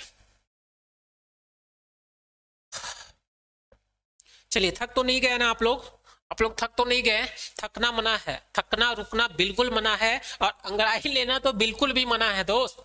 चलिए तो C is the right answer vitamin B three चलिए, इसका आप लोग हमें क्या बताइए? केमिकल नेम बताइए। थोड़ा सा आप लोग भी, आप लोग की माइंड का भी एक्सरसाइज हो जाए, थोड़ा सा झंझोर दूँ, ताकि आपके माइंड जो, आपके ये जो स्केलेटन सिस्टम है ना, वो खुल जाए। ठीक है, चलिए। नेक्स्ट सवाल 41 का। कहता है कि जो विटामिन ई e की कमी से कौन सा रोग होता है, या फिर क्या होता है? सॉफ्ट बोन्स हो जाते हैं, ब्लीडिंग इन गम्स हो जाते हैं, या वीकनेस इन मसल्स हो जाते हैं, या न्यूरोलॉजिकल डिसऑर्डर हो जाते हैं। आई होप ऑप्शन आप लोगों को समझ में आ रहा होगा कि कहता है कि the deficiency of vitamin E के कारण क्या चीज़ें होती है। ठीक है, आपके बोन्स जो होंगे, क्या वो सॉफ्ट हो जाएँगे कान की तरह ऐसे? ठीक है, या फिर ब्लडिंग इन गम्स हो जाएँगे, मसूड़ों में खून आएँगे आपके या फिर आपको वीकनेस हो जाएगा, कहाँ पे? आपके मसल्स में, डोले सोले में, या फिर आपको नस से या तंत्रिका संबंधी बीमार हो जाएँगे। चलिए, फटाफट इसका उत्तर करिए क्वेश्चन नंबर फोर्टी वन का। चलिए, फटाफट उत्तर करिए इसका। फोर्टी वन का फटाफट उत्तर करिए। तो इसका जो सही उत्तर होगा, वो अगर विटामिन ई e की आपके शरीर में, आपके बॉडी में कमी हो जाएगी तो क्या हो जाएँगे? आप वीकनेस फील होगा। वीकनेस कहाँ पे फील होगा भैया? तो ये मसल्स में होगा। तो इस प्रकार से देखा जाए तो C is the correct option ठीक है? चलिए नेक्स्ट सवाल की ओर हम लोग मूव करते हैं। आपको पता है ज़ीरो थलेमिया के बारे में आपने पढ़ा होगा, किसकी कमी के कारण होता है। ये जो होता है ज़ीरो थलेमिया जो होता है, वो किसके कमी के कारण होता है? चार विटामिन का नाम दिया गया है। चलिए उत्तर करिए। फटाफट उत्तर करिए आप लोग। क्वेश्चन नंबर फोर्टी का। क्वेश्चन नंबर फोर्टी का। चलिए तो सही उत्तर आपका क्या है? विटामिन ए इसका नाम क्या है? रेटिनॉल ठीक है? आपको पता है इसके कमी से क्या क्या चीज़ें होते हैं? अभी इसके पहले वाले सवाल में भी आपने पढ़ा विटामिन ई के कारण क्या हो जाता है? वीकनेस इस मसल तो आपको विटामिन जितने भी विटामिन है, कम से कम बी ठीक है? और सी इसके तो कई सारे कई सारे भाई हैं, कई सारे इसके बेटे हैं, उसके बारे में आपको नहीं पढ़ना। जैसे अभी आपने B one B two B three B two B twelve ये देखा तो उतना कम से कम जानने की ज़रूरत नहीं है। लेकिन ये बी एंड सी और ये जो कीड़ा है ना, कीड़ा, यानी कि कीड़ा या फिर जो कह लीजिए के ई, डी, ए, इनके बारे में डिटेल अध्ययन कर लेना ताकि आपके से एग्ज़ाम में एक भी सवाल ना छूटे, ठीक है? चलिए तो इसका हो गया। इसका कौन सा उत्तर होगा? जीरोथेलेमिया जो होगा, वो vitamin A is the correct option चलिए नेक्स्ट सवाल की ओर हम लोग मूव करते हैं।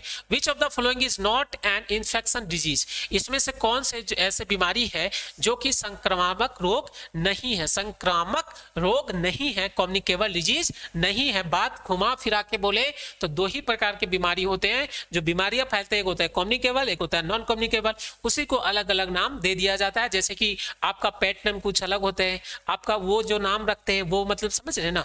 वो अलग प्यार से कुछ बोलते हैं। आप उनको कुछ प्यार से अलग बोलते हैं। तो ठीक इसी प्रकार जितने भी कम्युनिकेबल डिज़ीज़ है। नाम को इधर उधर तोड़ मरोड़ के रख दिया जाता है, लेकिन बात वो सेम है। ठीक है? बात वो सेम है। संतरा खाओ या संतरा का जूस पियो। जो उसको विटामिन आपके शरीर को देना, वही देगा तो ये बात आप लोग ध्यान में रखना। तो क्या कहता है कि which of the following not an infection disease इसमें से कौन सा इन्फेक्शन डिज़ीज़ रोग नहीं है, डेंगू स्कर्वी टाइफाइड या फिर काली खांसी। क्वेश्चन नंबर 43 का फटाफट आप लोग उत्तर करिए। क्वेश्चन नंबर 43 का फटाफट उत्तर करिए। क्वेश्चन नंबर 43 का। चलिए। 43 का फटाफट उत्तर करिए। तो इसका जो अस्कर्वी जो है, वो सही है। क्या है? संक्रामक रोग नहीं है कॉम्युनिकेबल डिज़ीज़ नहीं है। चलिए, आगे बढ़ाया जाए। बिल्कुल, सर। कहते हैं which of the following is the main cause of blindness in children worldwide जो कहते हैं, अंधेपन का जो मुख्य कारण क्या है, जो कि पूरे विश्व भर में है, किसमें है? बच्चों में। ऐसे सवालों को तोड़ तोड़ पढ़ना सीखिए। ग्लूकोमा या फिर मोतियाबीन या प्रोटीन की कमी या विटामिन ए की कमी। क्वेश्चन नंबर फोर्टी फोर का। क्वेश्चन नंबर फोर्टी फोर का फटाफट आपको उत्तर देना है। उत्तर दीजिए थके गए क्या? थकना नहीं है भाई साहब। फटाफट उत्तर करिए एनर्जेटिक होके उत्तर करिए, ठीक है? और जो लोग नए जुड़े हुए हैं, उनका एक बार तहे दिल से मैं स्वागत करता हूँ कैरियर फाउंडेशन परिवार में कैरियर फाउंडेशन के यूट्यूब प्लेटफॉर्म पे। चलिए तो इसका जो सही उत्तर होगा वाइटामिन ए डिफिशियंसी के कारण ये कलर ब्राइटनेस हो रही है, पूरे विश्व भर में अंधे का मुख्य कारण क्या है? तो वाइटामिन ए के कारण, ठीक है? चलिए तो आपको पता है, आप इससे आप अंदाज़ा लगा सकते हैं कि वाइटामिन जो ए है, कितना इंपॉर्टेंट है, जितना स्टार देना है, आप इसे दे दीजिए। तो वाइटामिन ए या फिर वाइटामिन के और सी ये तीनों काफ़ी इंपॉर्टेंट है। सवाल आपको कहीं हर एग्ज़ाम में देखने को मिलेगा। कोई भी एग्ज़ाम दो, चप, चपरासी का दो पटवारी का दो या फिर यूपीएससी का दो, यहाँ से सवाल देखने को मिलता ही है। और आपको पता है कि पोषण अभियान अभी चलाया जा रहा है। तो पोषण अभियान ऐसे ही क्यों चला जा रहा है? ताकि कुपोषण को दूर करने के लिए और कुपोषण को दूर तभी कर पाएँगे जब आपको पता होगा कि कौन सा इस बच्चे को किस विटामिन की रिक्वायरमेंट है, तभी आप उसे क्या कर सकते हो? खत्म कर सकते हो। चलिए क्वेश्चन नंबर क्वेश्चन नंबर क्या है? 45 कहता है कि एमैक्सोसाइलिन या डाइऑक्सीलाइन या erythromycin and penicillin are some example of ये तीन दवाई का नाम है एमो एमोक्सीसिलिन या फिर डायक्सोसिलिन या एंजिरिथोमाइसिन या पेलिसिलिन। किस प्रकार के उदाहरण है? बैक्टीरिया है, रोग जीवाणु है, एंटीबायोटिक्स है, टीकाकरण है। इंग्लिश में पढ़िए, इसको छोड़िए, इंग्लिश में पढ़िए। बैक्टीरिया, पैथोजन, एंटीबायोटिक्स या या वैक्सीनेशन। चलिए, वैक्सीनेशन को हिंदी में क्या कहते हैं? टीकाकरण कहते हैं क्वेश्चन नंबर फोर्टी का। चलिए, क्वेश्चन नंबर फोर्टी का। तो आपको पता है ये क्या है? एंटीबायोटिक्स ठीक है? एंटी एक होता है एंटीजन और एक होता है एंटीबायोटिक चलिए, ये आप लोग याद रखिएगा।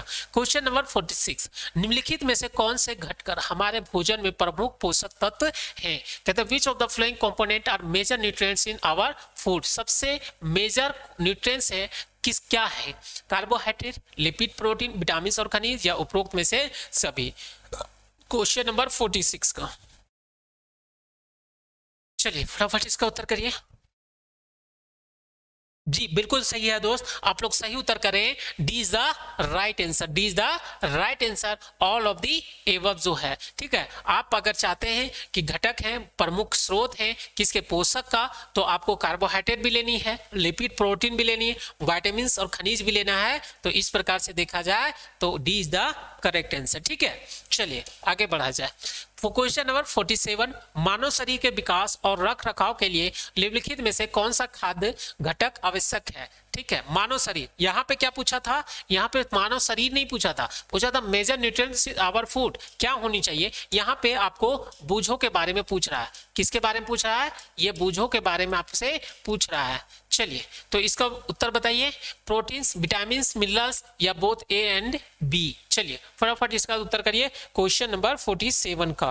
क्वेश्चन नंबर 47 क्या कहता है कि मानव शरीर के विकास और रखरखाव के लिए निम्नलिखित में से कौन सा न्यूट्रिएंट बहुत ही आवश्यक है? तो आपको पता है कि प्रोटीन्स जो है और विटामिन जो है, ये हमारे शरीर के लिए, हमारे शरीर के ग्रोथ के लिए काफ़ी अहम चीज़ें होती है, काफ़ी अहम चीज़ें होती है। तो इस प्रकार से देखा जाए तो ए और बी जो है, वो करेक्ट ऑप्शन है, ठीक है? चलिए question number 48 which of the flowing food components given, give energy to our body? कौन सा कंपोनेंट जो है, वो हमारे शरीर को क्या करती है? एनर्जी देती है। एनर्जी देती है। चलिए तो वो आपको बताना है प्रोटीन विटामिन खनिज कार्बोहाइड्रेट तो इसमें से कुछ तो ऑप्शन ऐसे ही एलिमिनेट हो जाएँगे। कार्बोहाइड्रेट एनर्जी देती है?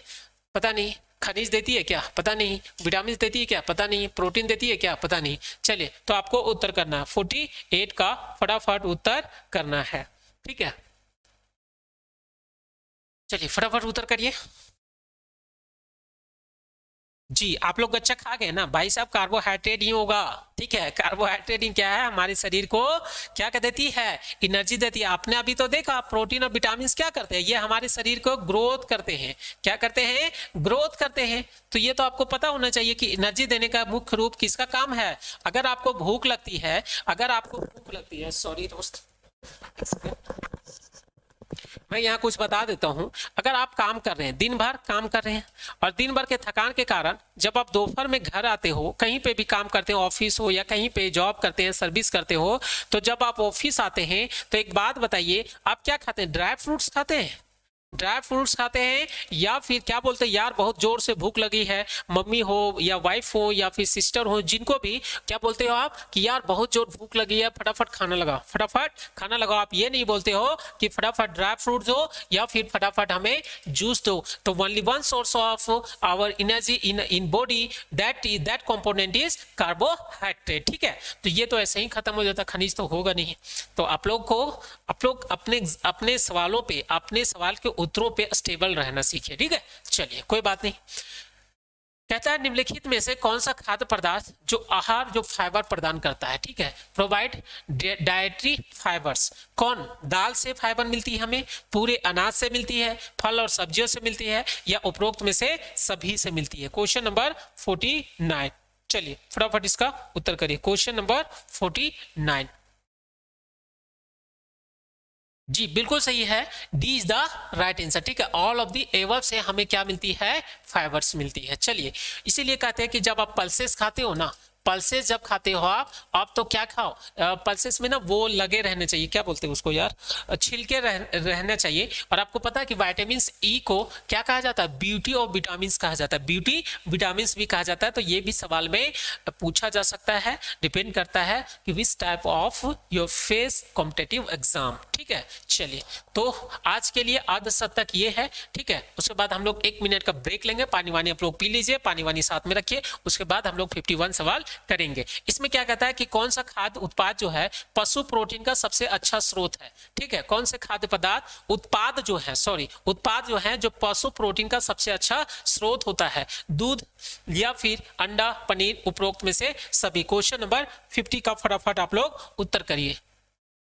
पशु से मिलती है। क्या मिलती है? प्रोटीन। और प्रोटीन क्या होती है? सबसे अच्छा स्रोत होता है जो पशु से जो मिलता है, वो क्या होता है? प्रोटीन के लिए सबसे अच्छा स्रोत होता है, वो क्या है? तो आपको पता है D is the right answer दूध भी हमें जानवर से मिलते हैं सॉरी पशु से मिलते हैं, अंडा भी उसी से मिलती है, पनीर भी पनीर भी कहीं ना कहीं किसका बाय प्रोडक्ट है? दूध जो है, वो किसका बाय प्रोडक्ट है? कहीं ना कहीं मिल्क, दूध का बाय प्रोडक्ट पनीर हो गया, या फिर आप घी की बात कर लीजिए, या फिर और कुछ मक्खन मक्खन का बात कर लीजिए तो इसका किसका किसका बाय प्रोडक्ट है? पशु का। और पशु में से किसका? दूध का। ठीक है? चलिए तो एक मिनट का आप लोग ब्रेक लीजिए। ठीक है? I just give you just a second and आप लोग पानी वानी ले लीजिए, बोतल उतर रख लीजिए पास में, क्योंकि अभी पचास सवाल और बाकी है और फटाफट हम लोग इसको भी डील करेंगे। चलिए, मैं भी थोड़ा पी लेता हूँ।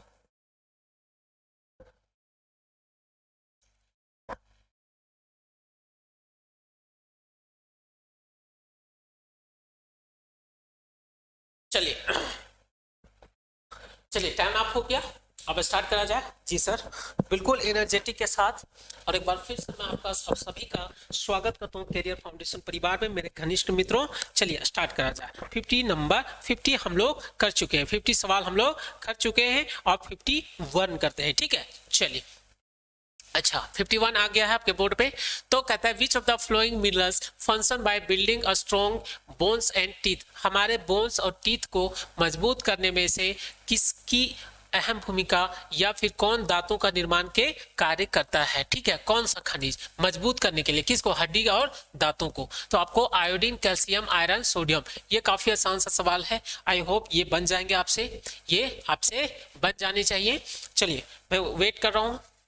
I am waiting your answer please give me first reply okay तो B is the correct option calcium जो है, वो क्या होते हैं? जो दूध और अंडो और मांस मछली में जो होती है, वो क्या करती है? हमारे बोन्स को और हमारे दांतों को मज़बूत करने का कार्य करती है। चलिए क्वेश्चन नंबर फिफ्टी टू कहता है जो एग है ना, उसमें क्या रिच सोर्स होता है? प्रोटीन्स होता है वाइटामिन होता है मिनरल्स होता है ऑल ऑफ़ दी एबव चलिए, फटाफट इसका उत्तर करिए क्वेश्चन नंबर 52 का। क्वेश्चन नंबर 52 का फटाफट उत्तर करिए। चलिए तो एग जो में एग जो होता है, अंडा जो होता है, वो सबके लिए रिच सोर्स होता है प्रोटीन्स के लिए भी रिच सोर्स होता है वाइटामिन के लिए भी रिच सोर्स होता है, और मिनरल्स के लिए तो जब ये तीनों सही हो जाएगा तो D is the right answer ठीक है? D is the right answer question number fifty question number fifty two चलिए, आगे बढ़ा जा। फिफ्टी थ्री नंबर 53 में कहता है कि which of the following food components does not provide by provide any nutrients इसमें से क्या है? ये चार ऑप्शन में क्या है? जो कि हमारे शरीर को बिल्कुल भी नहीं न्यूट्रिएंट्स प्रोवाइड करती है। तो मिल्क वाटर फ्रूट जूस या वेजिटेबल सूप चलिए, फटाफट उत्तर करिए फिफ्टी थ्री का। फिफ्टी थ्री का। फटाफट उत्तर करिए कि इसमें से कौन से ऐसी चीज़ है जो हमारे शरीर को बिल्कुल भी न्यूट्रिएंट्स नहीं देती, यानी कि पोषक तत्व प्रदान नहीं करती है। चलिए, फटाफट उत्तर करिए। तो आपको पता है, ये थोड़ा टैपिस महोदय मिस्टेक कर दिए तो पानी पानी जो है ना, ये पानी एस टू वो, ये हमारे शरीर को कोई भी न्यूट्रिएंट्स प्रोवाइड नहीं करती है। चलिए, आगे बढ़ा जाए। चलिए, पानी से अगर बात आया, पानी से अगर आया एक सवाल तो मैं एक सवाल आप लोगों को दागी देता हूँ। और सवाल ये है कि ये बूझो के शरीर में कितना परसेंट पानी होता है? What percent of what percent of water in our body चलिए, आप लोग चैट बॉक्स में इसका उत्तर बताइएगा कि what percent of water in our body जब पानी की बात आए तो मैं बता ही देता हूँ। चलिए।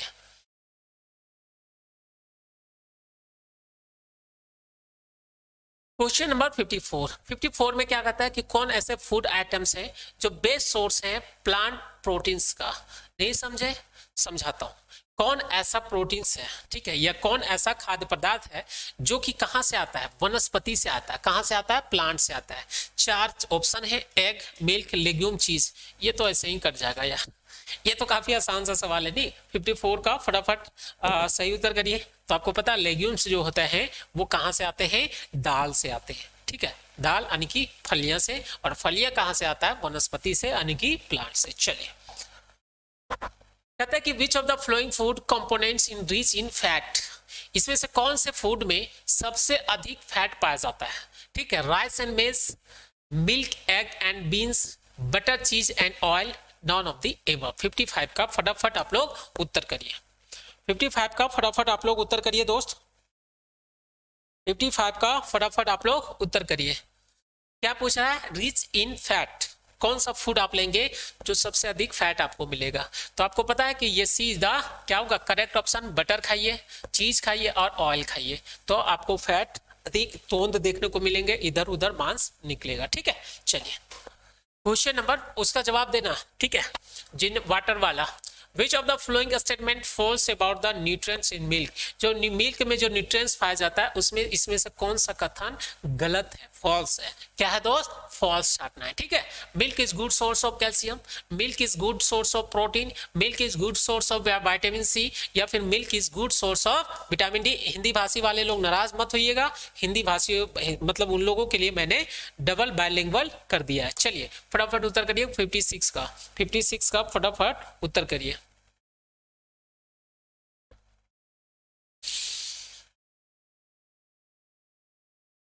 इसका जो सही उत्तर होगा वो कौन सा होगा दोस्त? C is the right answer ठीक है? मिल्क जो होता है good source of vitamin C protein का तो होता ही नहीं है, ठीक है? लेकिन होता है, लेकिन सबसे अधिक पूछा जा रहा है, ठीक है? न्यूट्रिएंट्स इज़ मिल्क फॉल्स के बारे में पूछना है ठीक है? विटामिन सी इसमें होता है क्या? Milk is good source of vitamin C चलिए, फटाफट, क्या फॉल्स स्टेटमेंट छाटने के लिए बोल रहा है, ठीक है? तो बाकी चीज़ें होती है, लेकिन वाइटामिन सी नहीं होती। वाइटामिन सी किसमें होता है? संतरा में, ठीक है? जिसका नाम क्या है? अस्कॉर्बिक एसिड चलिए अस्कॉर्बिक एसिड कावा हो गया लेमन हो गया ऑरेंज हो गया एंड टोमेटो रिच इन इसमें क्या पाया जाता है? ये तो आसान सा सवाल है। तुरंत करिए इसका सवाल 57 का C is the right answer चलिए, आगे बढ़ा जाए। बिल्कुल sir potatoes cereals beans and pulses oats are rich in अभी सवाल में कंफ्यूज मत करना, ऐसा मत सोचना कि सवाल सेम है। सवाल सेम नहीं है। यहाँ पे कुछ दूसरा है और यहाँ पे कुछ 58 का कुछ दूसरा है। पोटैटोज हो गया, आलू हो गया बीन्स हो गया, दालें हो गया, जैसी किससे भरपूर होती है। इसमें क्या होती है? प्रोटीन विटामिन खनिज कार्बोहाइड्रेट भरपूर मात्रा में। क्या होता है? आर रिच इन क्या होता है? चलिए क्वेश्चन नंबर 58 का फटाफट उत्तर करिए। क्वेश्चन नंबर 58 का फटाफट उत्तर करिए। क्वेश्चन नंबर 58 का फटाफट आप लोग उत्तर करिए। 58 जी, आपका उत्तर बिल्कुल सही है कार्बोहाइड्रेट ठीक है? क्या है? कार्बोहाइड्रेट जो है, वो बिल्कुल सही है और ये सब चीज़ें किसमें पाई जाती है? पोटैटो सीरियल्स पल्सेस ओट्स में, ठीक है? ओट्स जो आप खाते हो ना, इसमें कार्बोहाइड्रेट पाया जाता है। चलिए, जो कि एनर्जी का काफ़ी मस्ट अच्छा स्रोत होता है सोर्स होता है।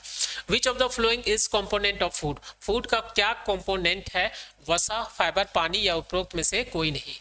फैट्स फाइबर्स वाटर या none of this question number 59 question number 59 का फटाफट आप लोग उत्तर करिए। क्वेश्चन नंबर 59 क्वेश्चन नंबर 59 का फटाफट उत्तर करिए। चलिए तो इसका जो सही उत्तर होगा D is the correct option ठीक है? चलिए, आगे बढ़ा जाए। सवाल को देख लीजिए, एक बार क्या कह रहा था कि यहाँ पे सवाल क्या है? Which of the following is not component of food food का कौन सा कॉम्पोनेंट नहीं है? फैट्स फाइबर ये वाटर ये सब है क्या? नहीं।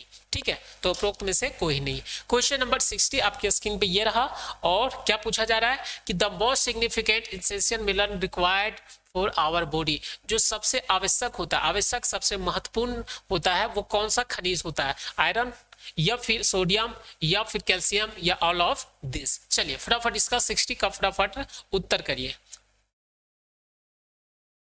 चलिए, उत्तर करिए दोस्त। फटाफट उत्तर करिए। तो इसका जो सही उत्तर होगा D is the right answer ठीक है? D is the right answer आगे बढ़ा जाए। बिल्कुल सर चलिए। Which of the following are basic categories of chemicals signalling found in multicellular organism नहीं समझ में आया?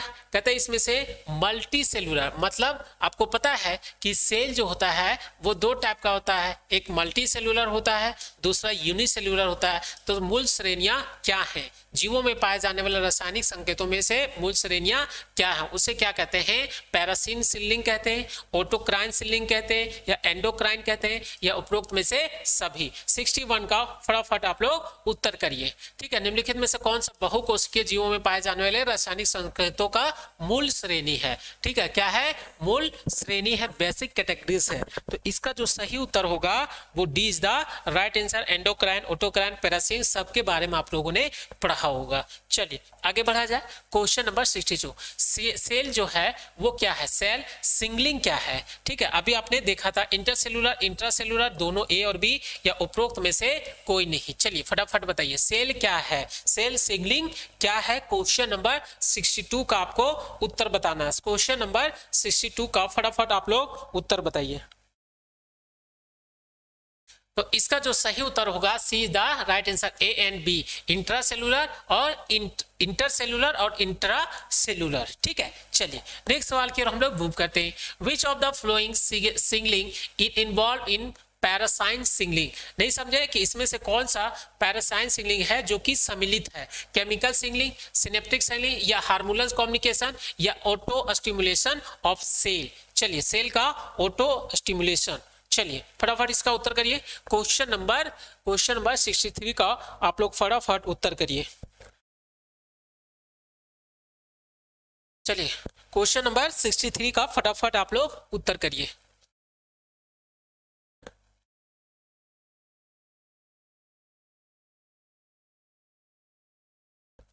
चलिए तो इसका जो सही उत्तर होगा इज़ द करेक्ट ऑप्शन ठीक है?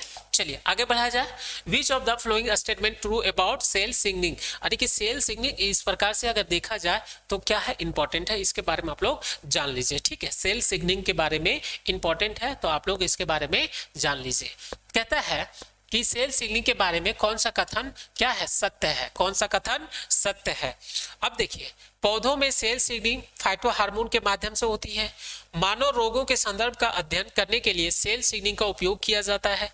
या फिर या फिर सेल सिग्निंग का उपयोग जीव की कोशिकाओं के बीच सिग्निंग का अध्ययन करने के लिए किया जाता है या उपरोक्त में से सभी। क्वेश्चन नंबर 64 क्वेश्चन नंबर 64 का फटाफट आप लोग उत्तर करिए। मैं अगर इमेज दिखा पाऊँ तो आप लोग को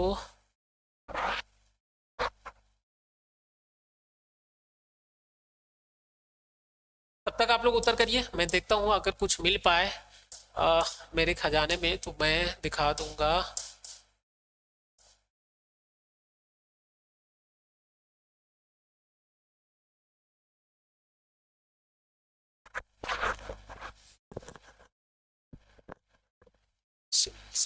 ये देखिए। देख पा रहे होंगे आप, ये कोई सेल है, ये कैसा है? सेंडिंग सेल है, ठीक है? ये कोई सेल है, इसका कुछ भाग कटा हुआ है। कुछ भाग क्या हुआ है? कटा हुआ है। और इसको आके यहाँ पे क्या करना है? सॉरी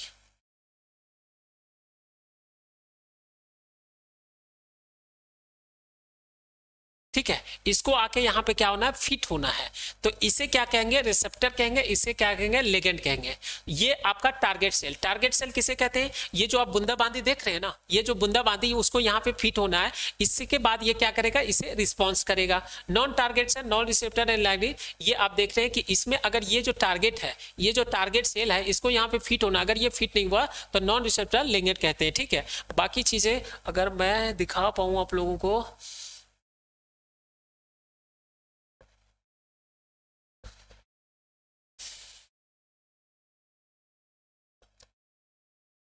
देखिए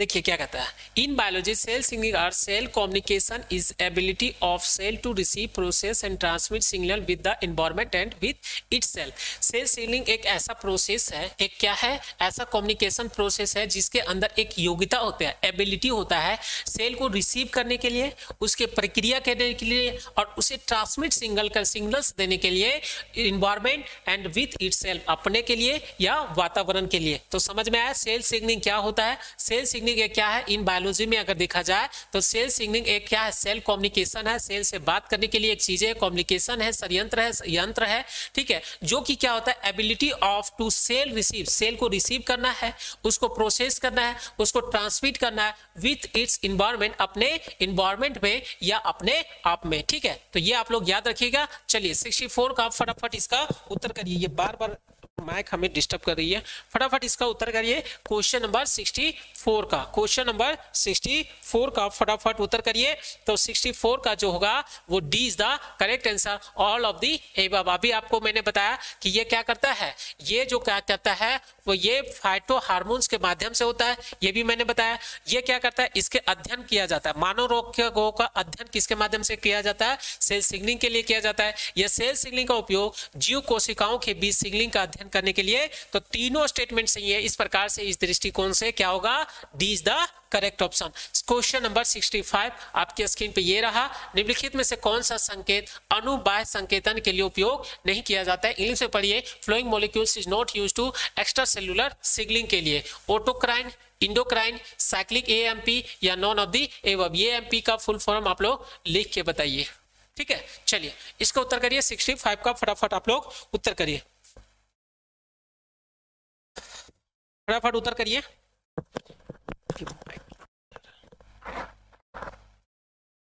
चलिए इसका उत्तर करिए फटाफट उत्तर करिए आप लोग। तो इसका जो सही उत्तर होगा C is the correct option ठीक है? 65 का क्या होगा? C is the correct option cyclic A M P A M P का फुल फॉर्म आपको लिख के बताना है। Question number 66 which of the following signal molecule does not interact with the cell surface receptors अभी मैंने आपको दिखाया कि निम्नलिखित में से कौन सा सिग्नल अनु सेल है जो कि सतह रिसेप्टर के साथ बातचीत नहीं करता है। उसे क्या कहते हैं? इंसुलिन गैस्ट्रिन ग्लूकोजन या टेस्ट्रोन चलिए, फटाफट इसका उत्तर करिए 66 का। 66 का फटाफट उत्तर करिए तो आपको पता है, उत्तर प्रश्न को पढ़ते ही आपके मन में बूझो ने एक बत्ती जगाई होगी, बूझो ने एक बत्ती जगाई होगी कि भाई साहब, सब कुछ तो समझ में आ रहा है, लेकिन टेस्ट्रोन तो एक हार्मोन है यार। ये क्या है? एक हार्मोन है, और ऑप्शन में तो बातचीत कही, इसकी करी ही नहीं गई है तो इस प्रकार C is the right interact होता है टेस्टोन, एक होता है प्रोजेस्टोन। मेल में कौन सी पाई जाती है, ये आपको बताना है। और फीमेल्स में कौन सा हार्मोन रिलीज़ होता है? टेस्टोन या प्रोजेस्टोन चलिए which of the following G protein क्या होता है? जी प्रोटीन के दृष्टि से नियमन का में भाग लेता है, ठीक है? इसको English regulation in vision vision में कौन सा प्रोटीन जो है या जी प्रोटीन है, जो कि किसका भाग है आपका? विजन करने में, दिखाई देने में। गोल्फ या जी परिवार या फिर जी एस परिवार या जी क्यू जी क्यू परिवार। चलिए क्वेश्चन नंबर 67 का फटाफट आप लोग उत्तर करिए। अभी आपको मैंने एक इमेज दिखाया था मेटाफेज एनाफेज टेलोफेज प्रोफेज उसमें कहीं जी वन आता है जी वन आता है, वो आपको बताना है।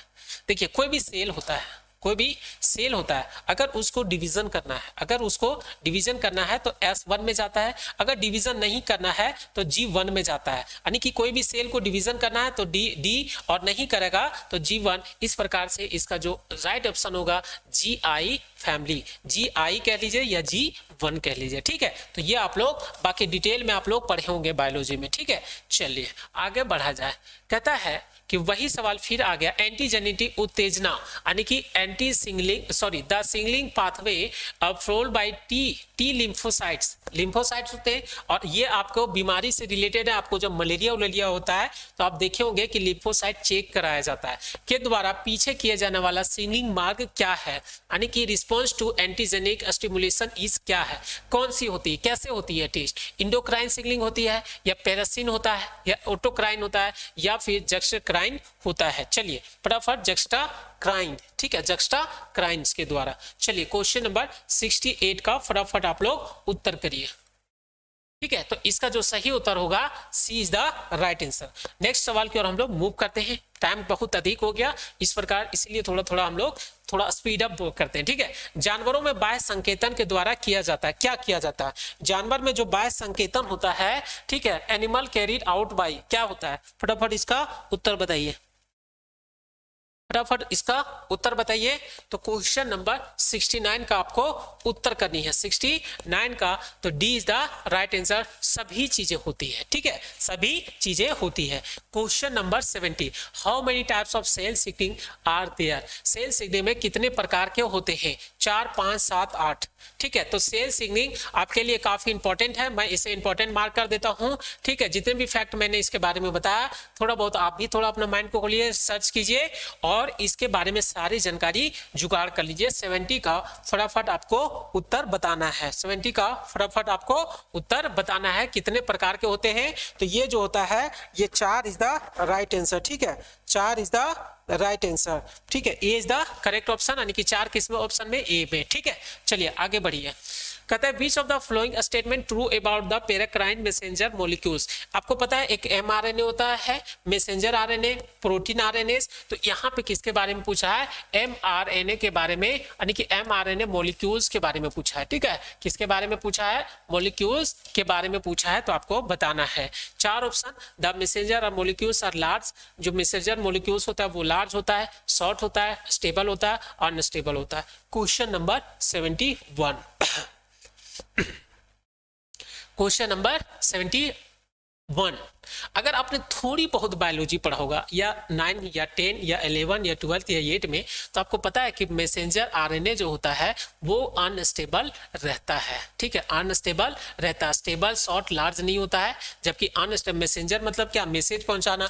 ए से बी तक ले जाओ भैया। ए से बी तक ले जाना हो कि कब कौन सा हार्मोन्स आपको रिलीज़ करना है। कब कब कौन सी बाट की अच्छा नाखून बना, नाखून काट लिया, पढ़ाना है तो मैसेंजर जाता है। तो मैसेज करने के लिए वो स्टेबल कैसे रहेगा? अनस्टेबल होगा ठीक है, आगे के सवाल की ओर मूव करते हैं।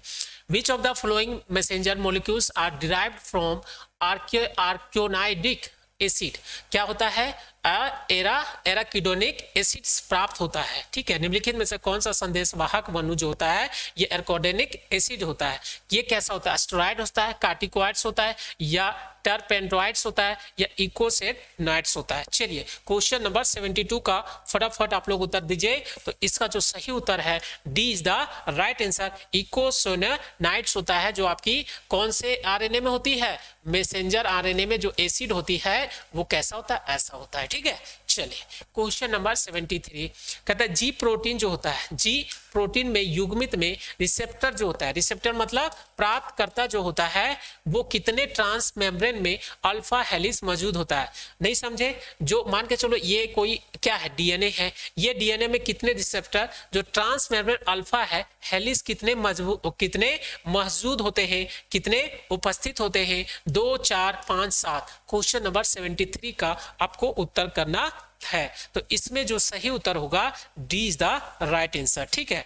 D is the right answer और पता है आपको कितने ये होते हैं? ग्वानिन के साथ साइटोसिन होते हैं, ठीक है? तो ये चार क्या है? चलिए 24 का steroids biologically active organic compound जो एस्टेरॉइड्स होते हैं, वो क्या होते हैं? बायोलॉजिकल कंपाउंड्स होते हैं एक्टिव ऑर्गेनिक कंपाउंड होते हैं आर डिराइव फ्रॉम उसे कहाँ से प्राप्त किया गया है, ठीक है? कहाँ से प्राप्त होते हैं? हार्मोन से केमिकल से कोलेस्ट्रॉल से या कार्बोहाइड्रेट से। चलिए, फटाफट उत्तर करिए, क्योंकि टाइम काफ़ी हो गया दोस्त। 74 को आपका उत्तर करना है। 74 का जो सही उत्तर होगा, वो C is the right answer cholesterol एक मिनट दोस्त, मैं थोड़ा पानी पी लूँ गलत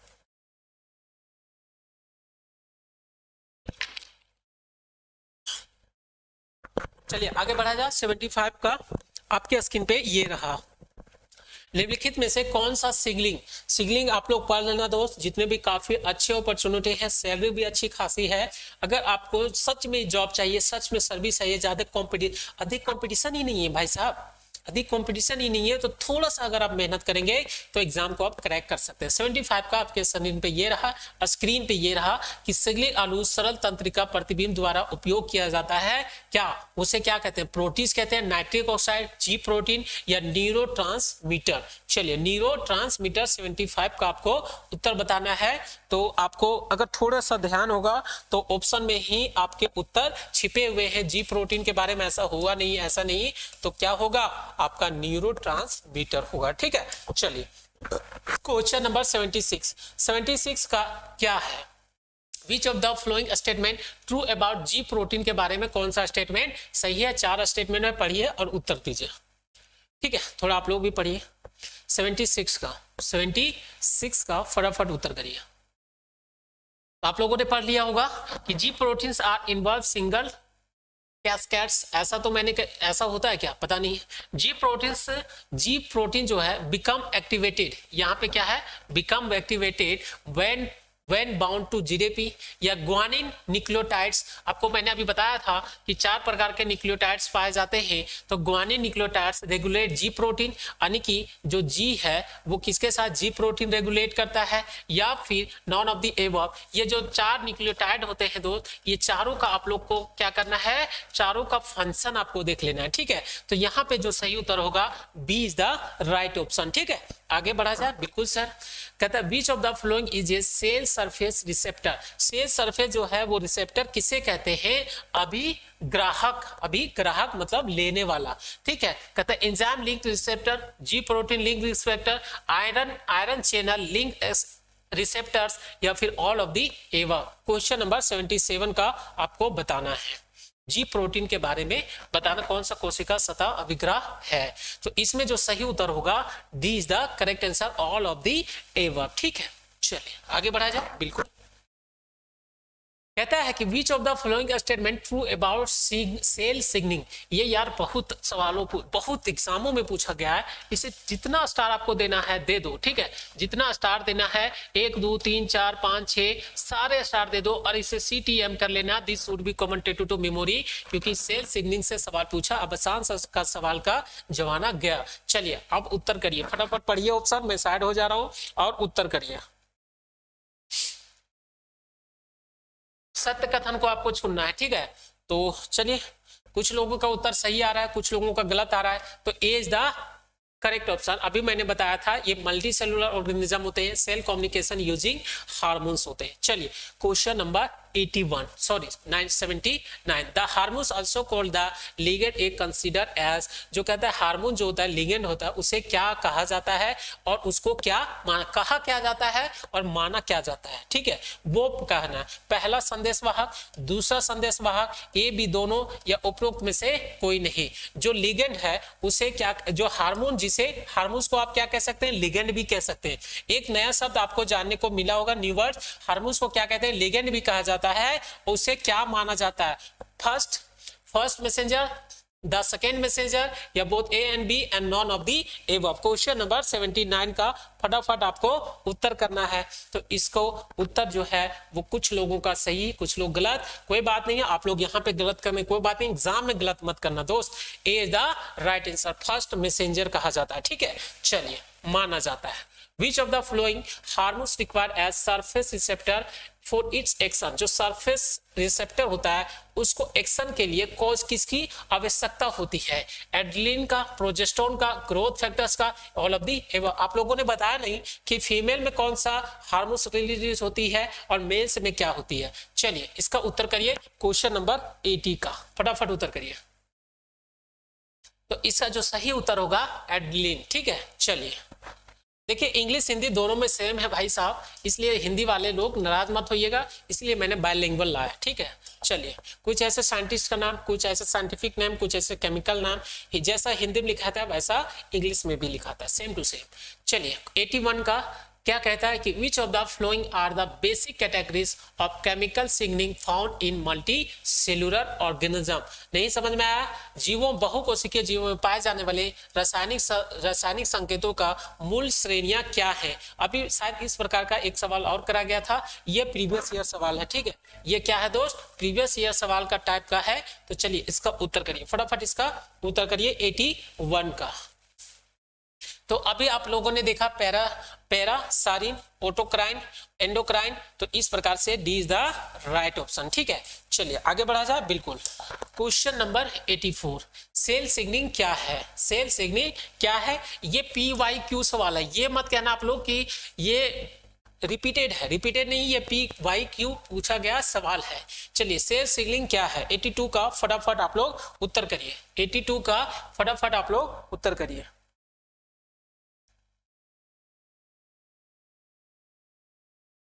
82 का फटाफट उत्तर करिए।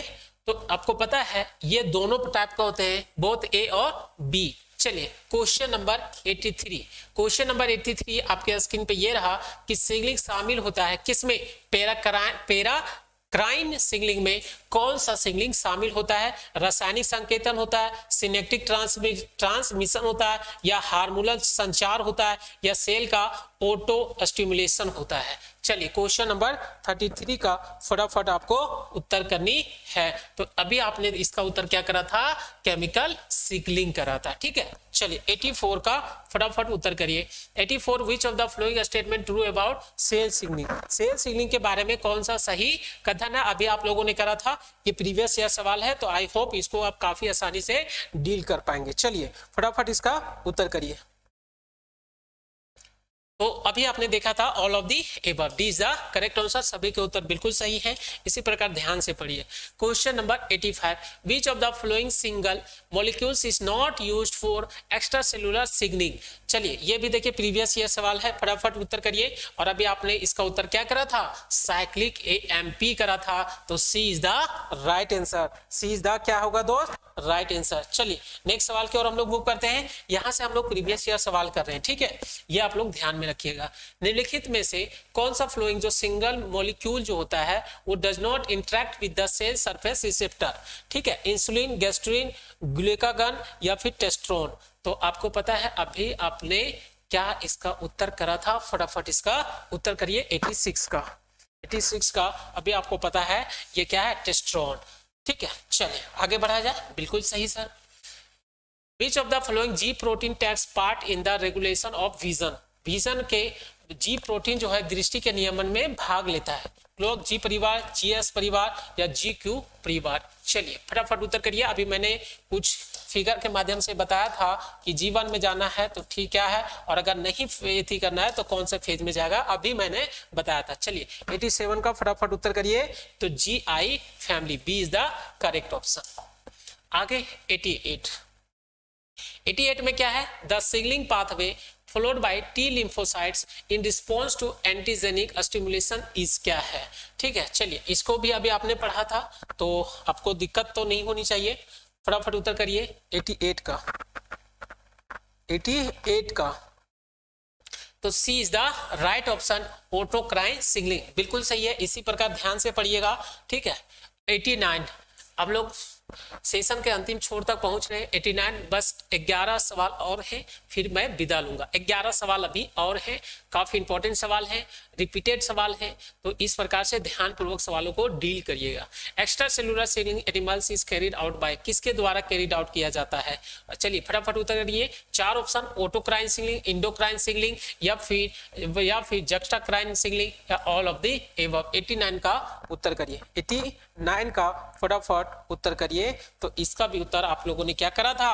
All of the above question number 90 question number 90 अभी मैंने का आपसे पूछा था कि सेल सिग्निंग में कितने प्रकार होते हैं। सेल सिग्निंग जो होता है, वो कितने प्रकार के होते हैं? ये पूछा गया सवाल है किसी ना किसी कॉम्पिटेटिव एग्ज़ाम में। चलिए, एक रिवीजन भी हो जा रहा है आप लोगों का। चलिए तो सेल सिग्निंग क्या है? कितने प्रकार के होते हैं? ये आपको पता है। अभी आप लोगों ने उत्तर क्या करा था? चार प्रकार के। ठीक है? Which of the following statement true about the paracrine messenger molecules ठीक है? चलिए, ये कुछ नया टाइप का सवाल है। आपको ये बतानी है। चलिए फटा दिए, चार ऑप्शन है स्क्रीन पे है। पढ़िए फटाफट, पढ़िए 91 का।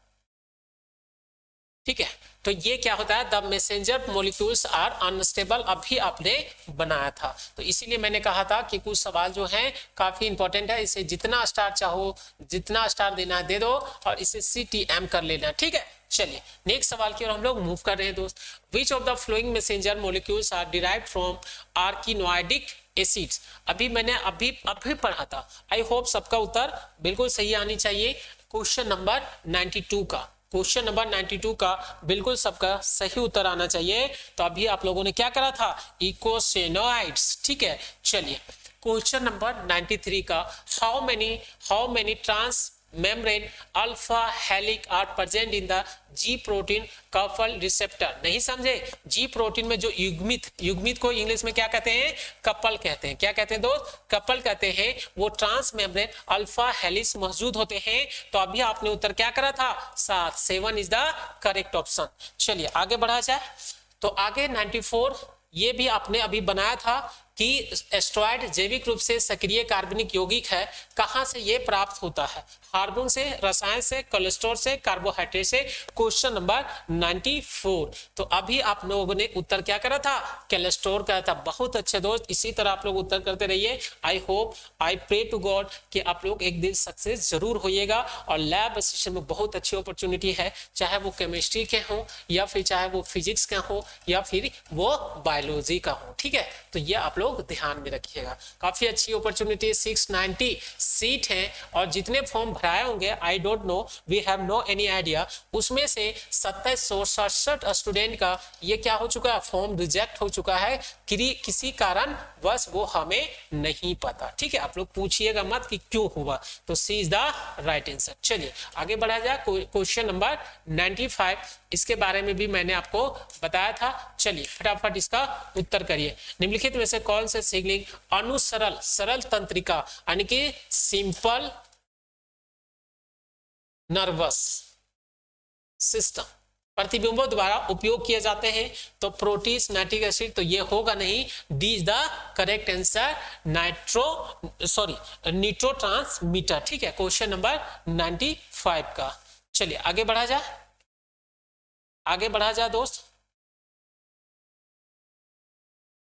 चलिए, फटाफट उत्तर करिए। क्वेश्चन नंबर 95 चलिए।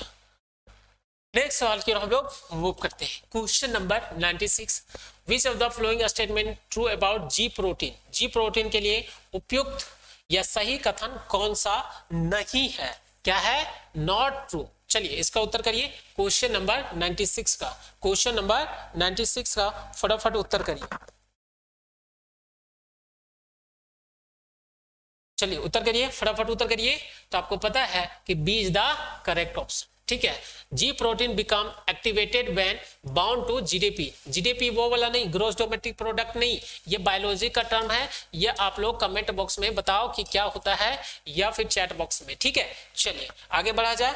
बिल्कुल sir 97 seven which of the following is cell surface receptor जो इसमें से कौन सी कोशिका सतह का अधिक ग्रह है? ठीक है एंजाइम से जुड़े रिसेप्टर या फिर G protein link receptor ion ion channel linked receptor या ऑल ऑफ़ दी एवं 97 का आपको बताना है। तो ये क्या होगा? इसका सही उत्तर होगा ऑल ऑफ़ दी एबव तो सारे प्रीवियस ईयर सवाल है और बचे कितने हैं? तीन और सवाल बचे हुए हैं। एक सेकेंड आप मुझे टाइम देंगे तो मैं आप लोगों को तीन सवाल जो बचे हुए वो भी मैं करवा दूँगा। ठीक है?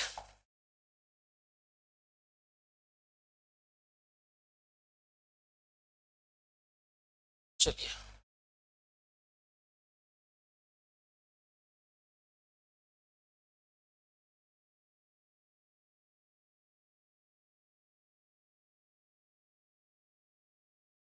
चलिए। 97 तक हम लोगों ने करा 98 का आपका ये रहा, ठीक है? 98 का ये रहा कि कौन सा जो फ्लोइंग स्टेटमेंट है, वो ट्रू अबाउट द सेल यहाँ पे क्या पूछा था? अभी इसके 96 में क्या पूछा था दोस्त? 96 में पूछा गया था कि इसमें कौन सा सेल के बारे में ट्रू ट्रू स्टेटमेंट नहीं है, यहाँ पे ट्रू पूछा है। यहाँ पे क्या पूछा है? ट्रू। पिछले वाले सवाल में क्या पूछा था? असत्य के बारे में या फिर नहीं के बारे में पूछा था? यहाँ पे आपसे सत्य के बारे में पूछा जा रहा है। चलिए, फटाफट इसका उत्तर करिए। फटाफट इसका उत्तर करिए 98 का। तो इसका जो सही उत्तर होगा A is the right answer next सवाल की ओर हम लोग मूव करते हैं। क्वेश्चन नंबर 90 तो the hormone also call the ligand is consider as अभी मैंने आपको कहा था कि हार्मोन्स को क्या कहते हैं? लिगेंड भी कहते हैं। इसे क्या माना जाता है? पहला संदेश वाहक दूसरा या फिर दोनों या कोई नहीं। चलिए, इसका उत्तर करिए। फटाफट इसका उत्तर करिए 99 का। तो अभी आप लोगों ने क्या पढ़ा था? फ़र्स्ट मैसेंजर इसे माना जाता है। क्या माना जाता है दोस्त? फ़र्स्ट मैसेंजर माना जाता है। ठीक है, ये आप लोग याद रखना। और मैसेंजर आरएनए का काम क्या होता है, ये भी आप लोग याद रखना। और एक होता है ट्रांसफ़र आरएनए, ये भी शायद आप लोगों को टी आरएनए के बारे में भी जानना चाहिए। यहाँ से भी सवाल बन सकते हैं। दो सवाल इंपॉर्टेंट है। एक तो एमआरएनए और टी आरएनए क्या क्या होता है, वो आप लोग जान लेना। और आज का अंतिम सवाल, आज का सेशन का अंतिम सवाल क्वेश्चन नंबर हंड्रेड ये आपके स्क्रीन पे ये रहा। चलिए तो क्या कहता है which of the following hormones require cells receptor for its action ये सारे क्या थे? 10 20 मैंने प्रीवियस ईयर सवाल आप लोगों को करवाया ताकि आपको पता चल पाए कि हमारा जो दिशा निर्देश है, वो सही हाथ में है, सही शिक्षक के हाथ में है या नहीं? चलिए, इसका उत्तर करिए। तो इसका बिल्कुल सही कौन सा उत्तर होगा दोस्त? एड्रेलिन ठीक है, कौन सा? Adrenaline is the correct option ठीक है चलिए तो ये हम लोगों ने 100 सवाल करा और पिछले क्लास में मैंने 100 सवाल करवाया था। इस प्रकार से 200 सवाल आप लोग फतेह कर चुके हैं। क्या कर सकते हैं? फतेह कर चुके हैं, यानी कि विजय हो गए हैं। आई होप यहाँ से सवाल आप लोगों को देखने को मिलेगा।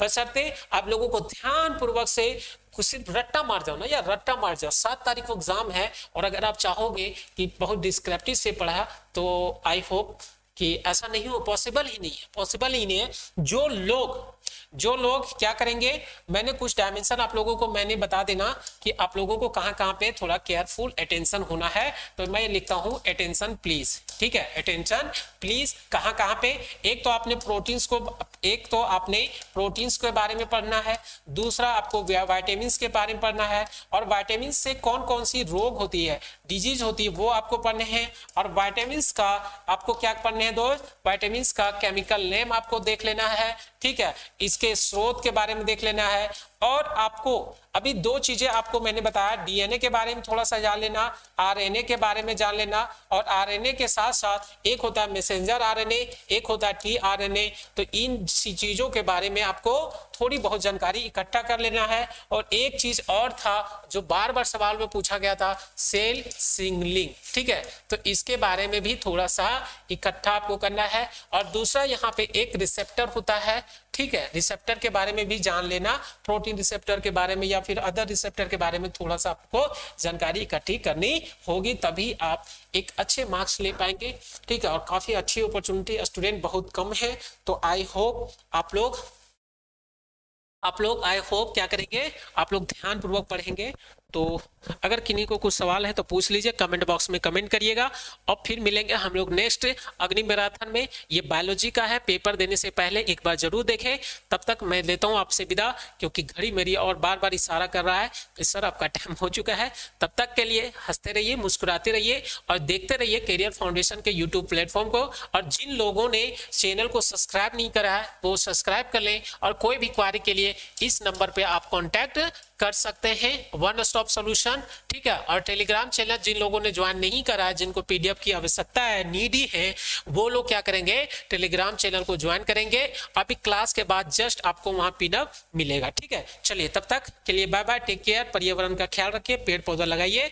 तब तक के लिए हिस्ट पूछ तंदुरुस्त रहिए और साथ ही साथ तैयारी को एक अच्छे दिशा की ओर ले जाइए, अच्छे मुकाम पे ले जाइए। बाय बाय टेक केयर जय हिंद।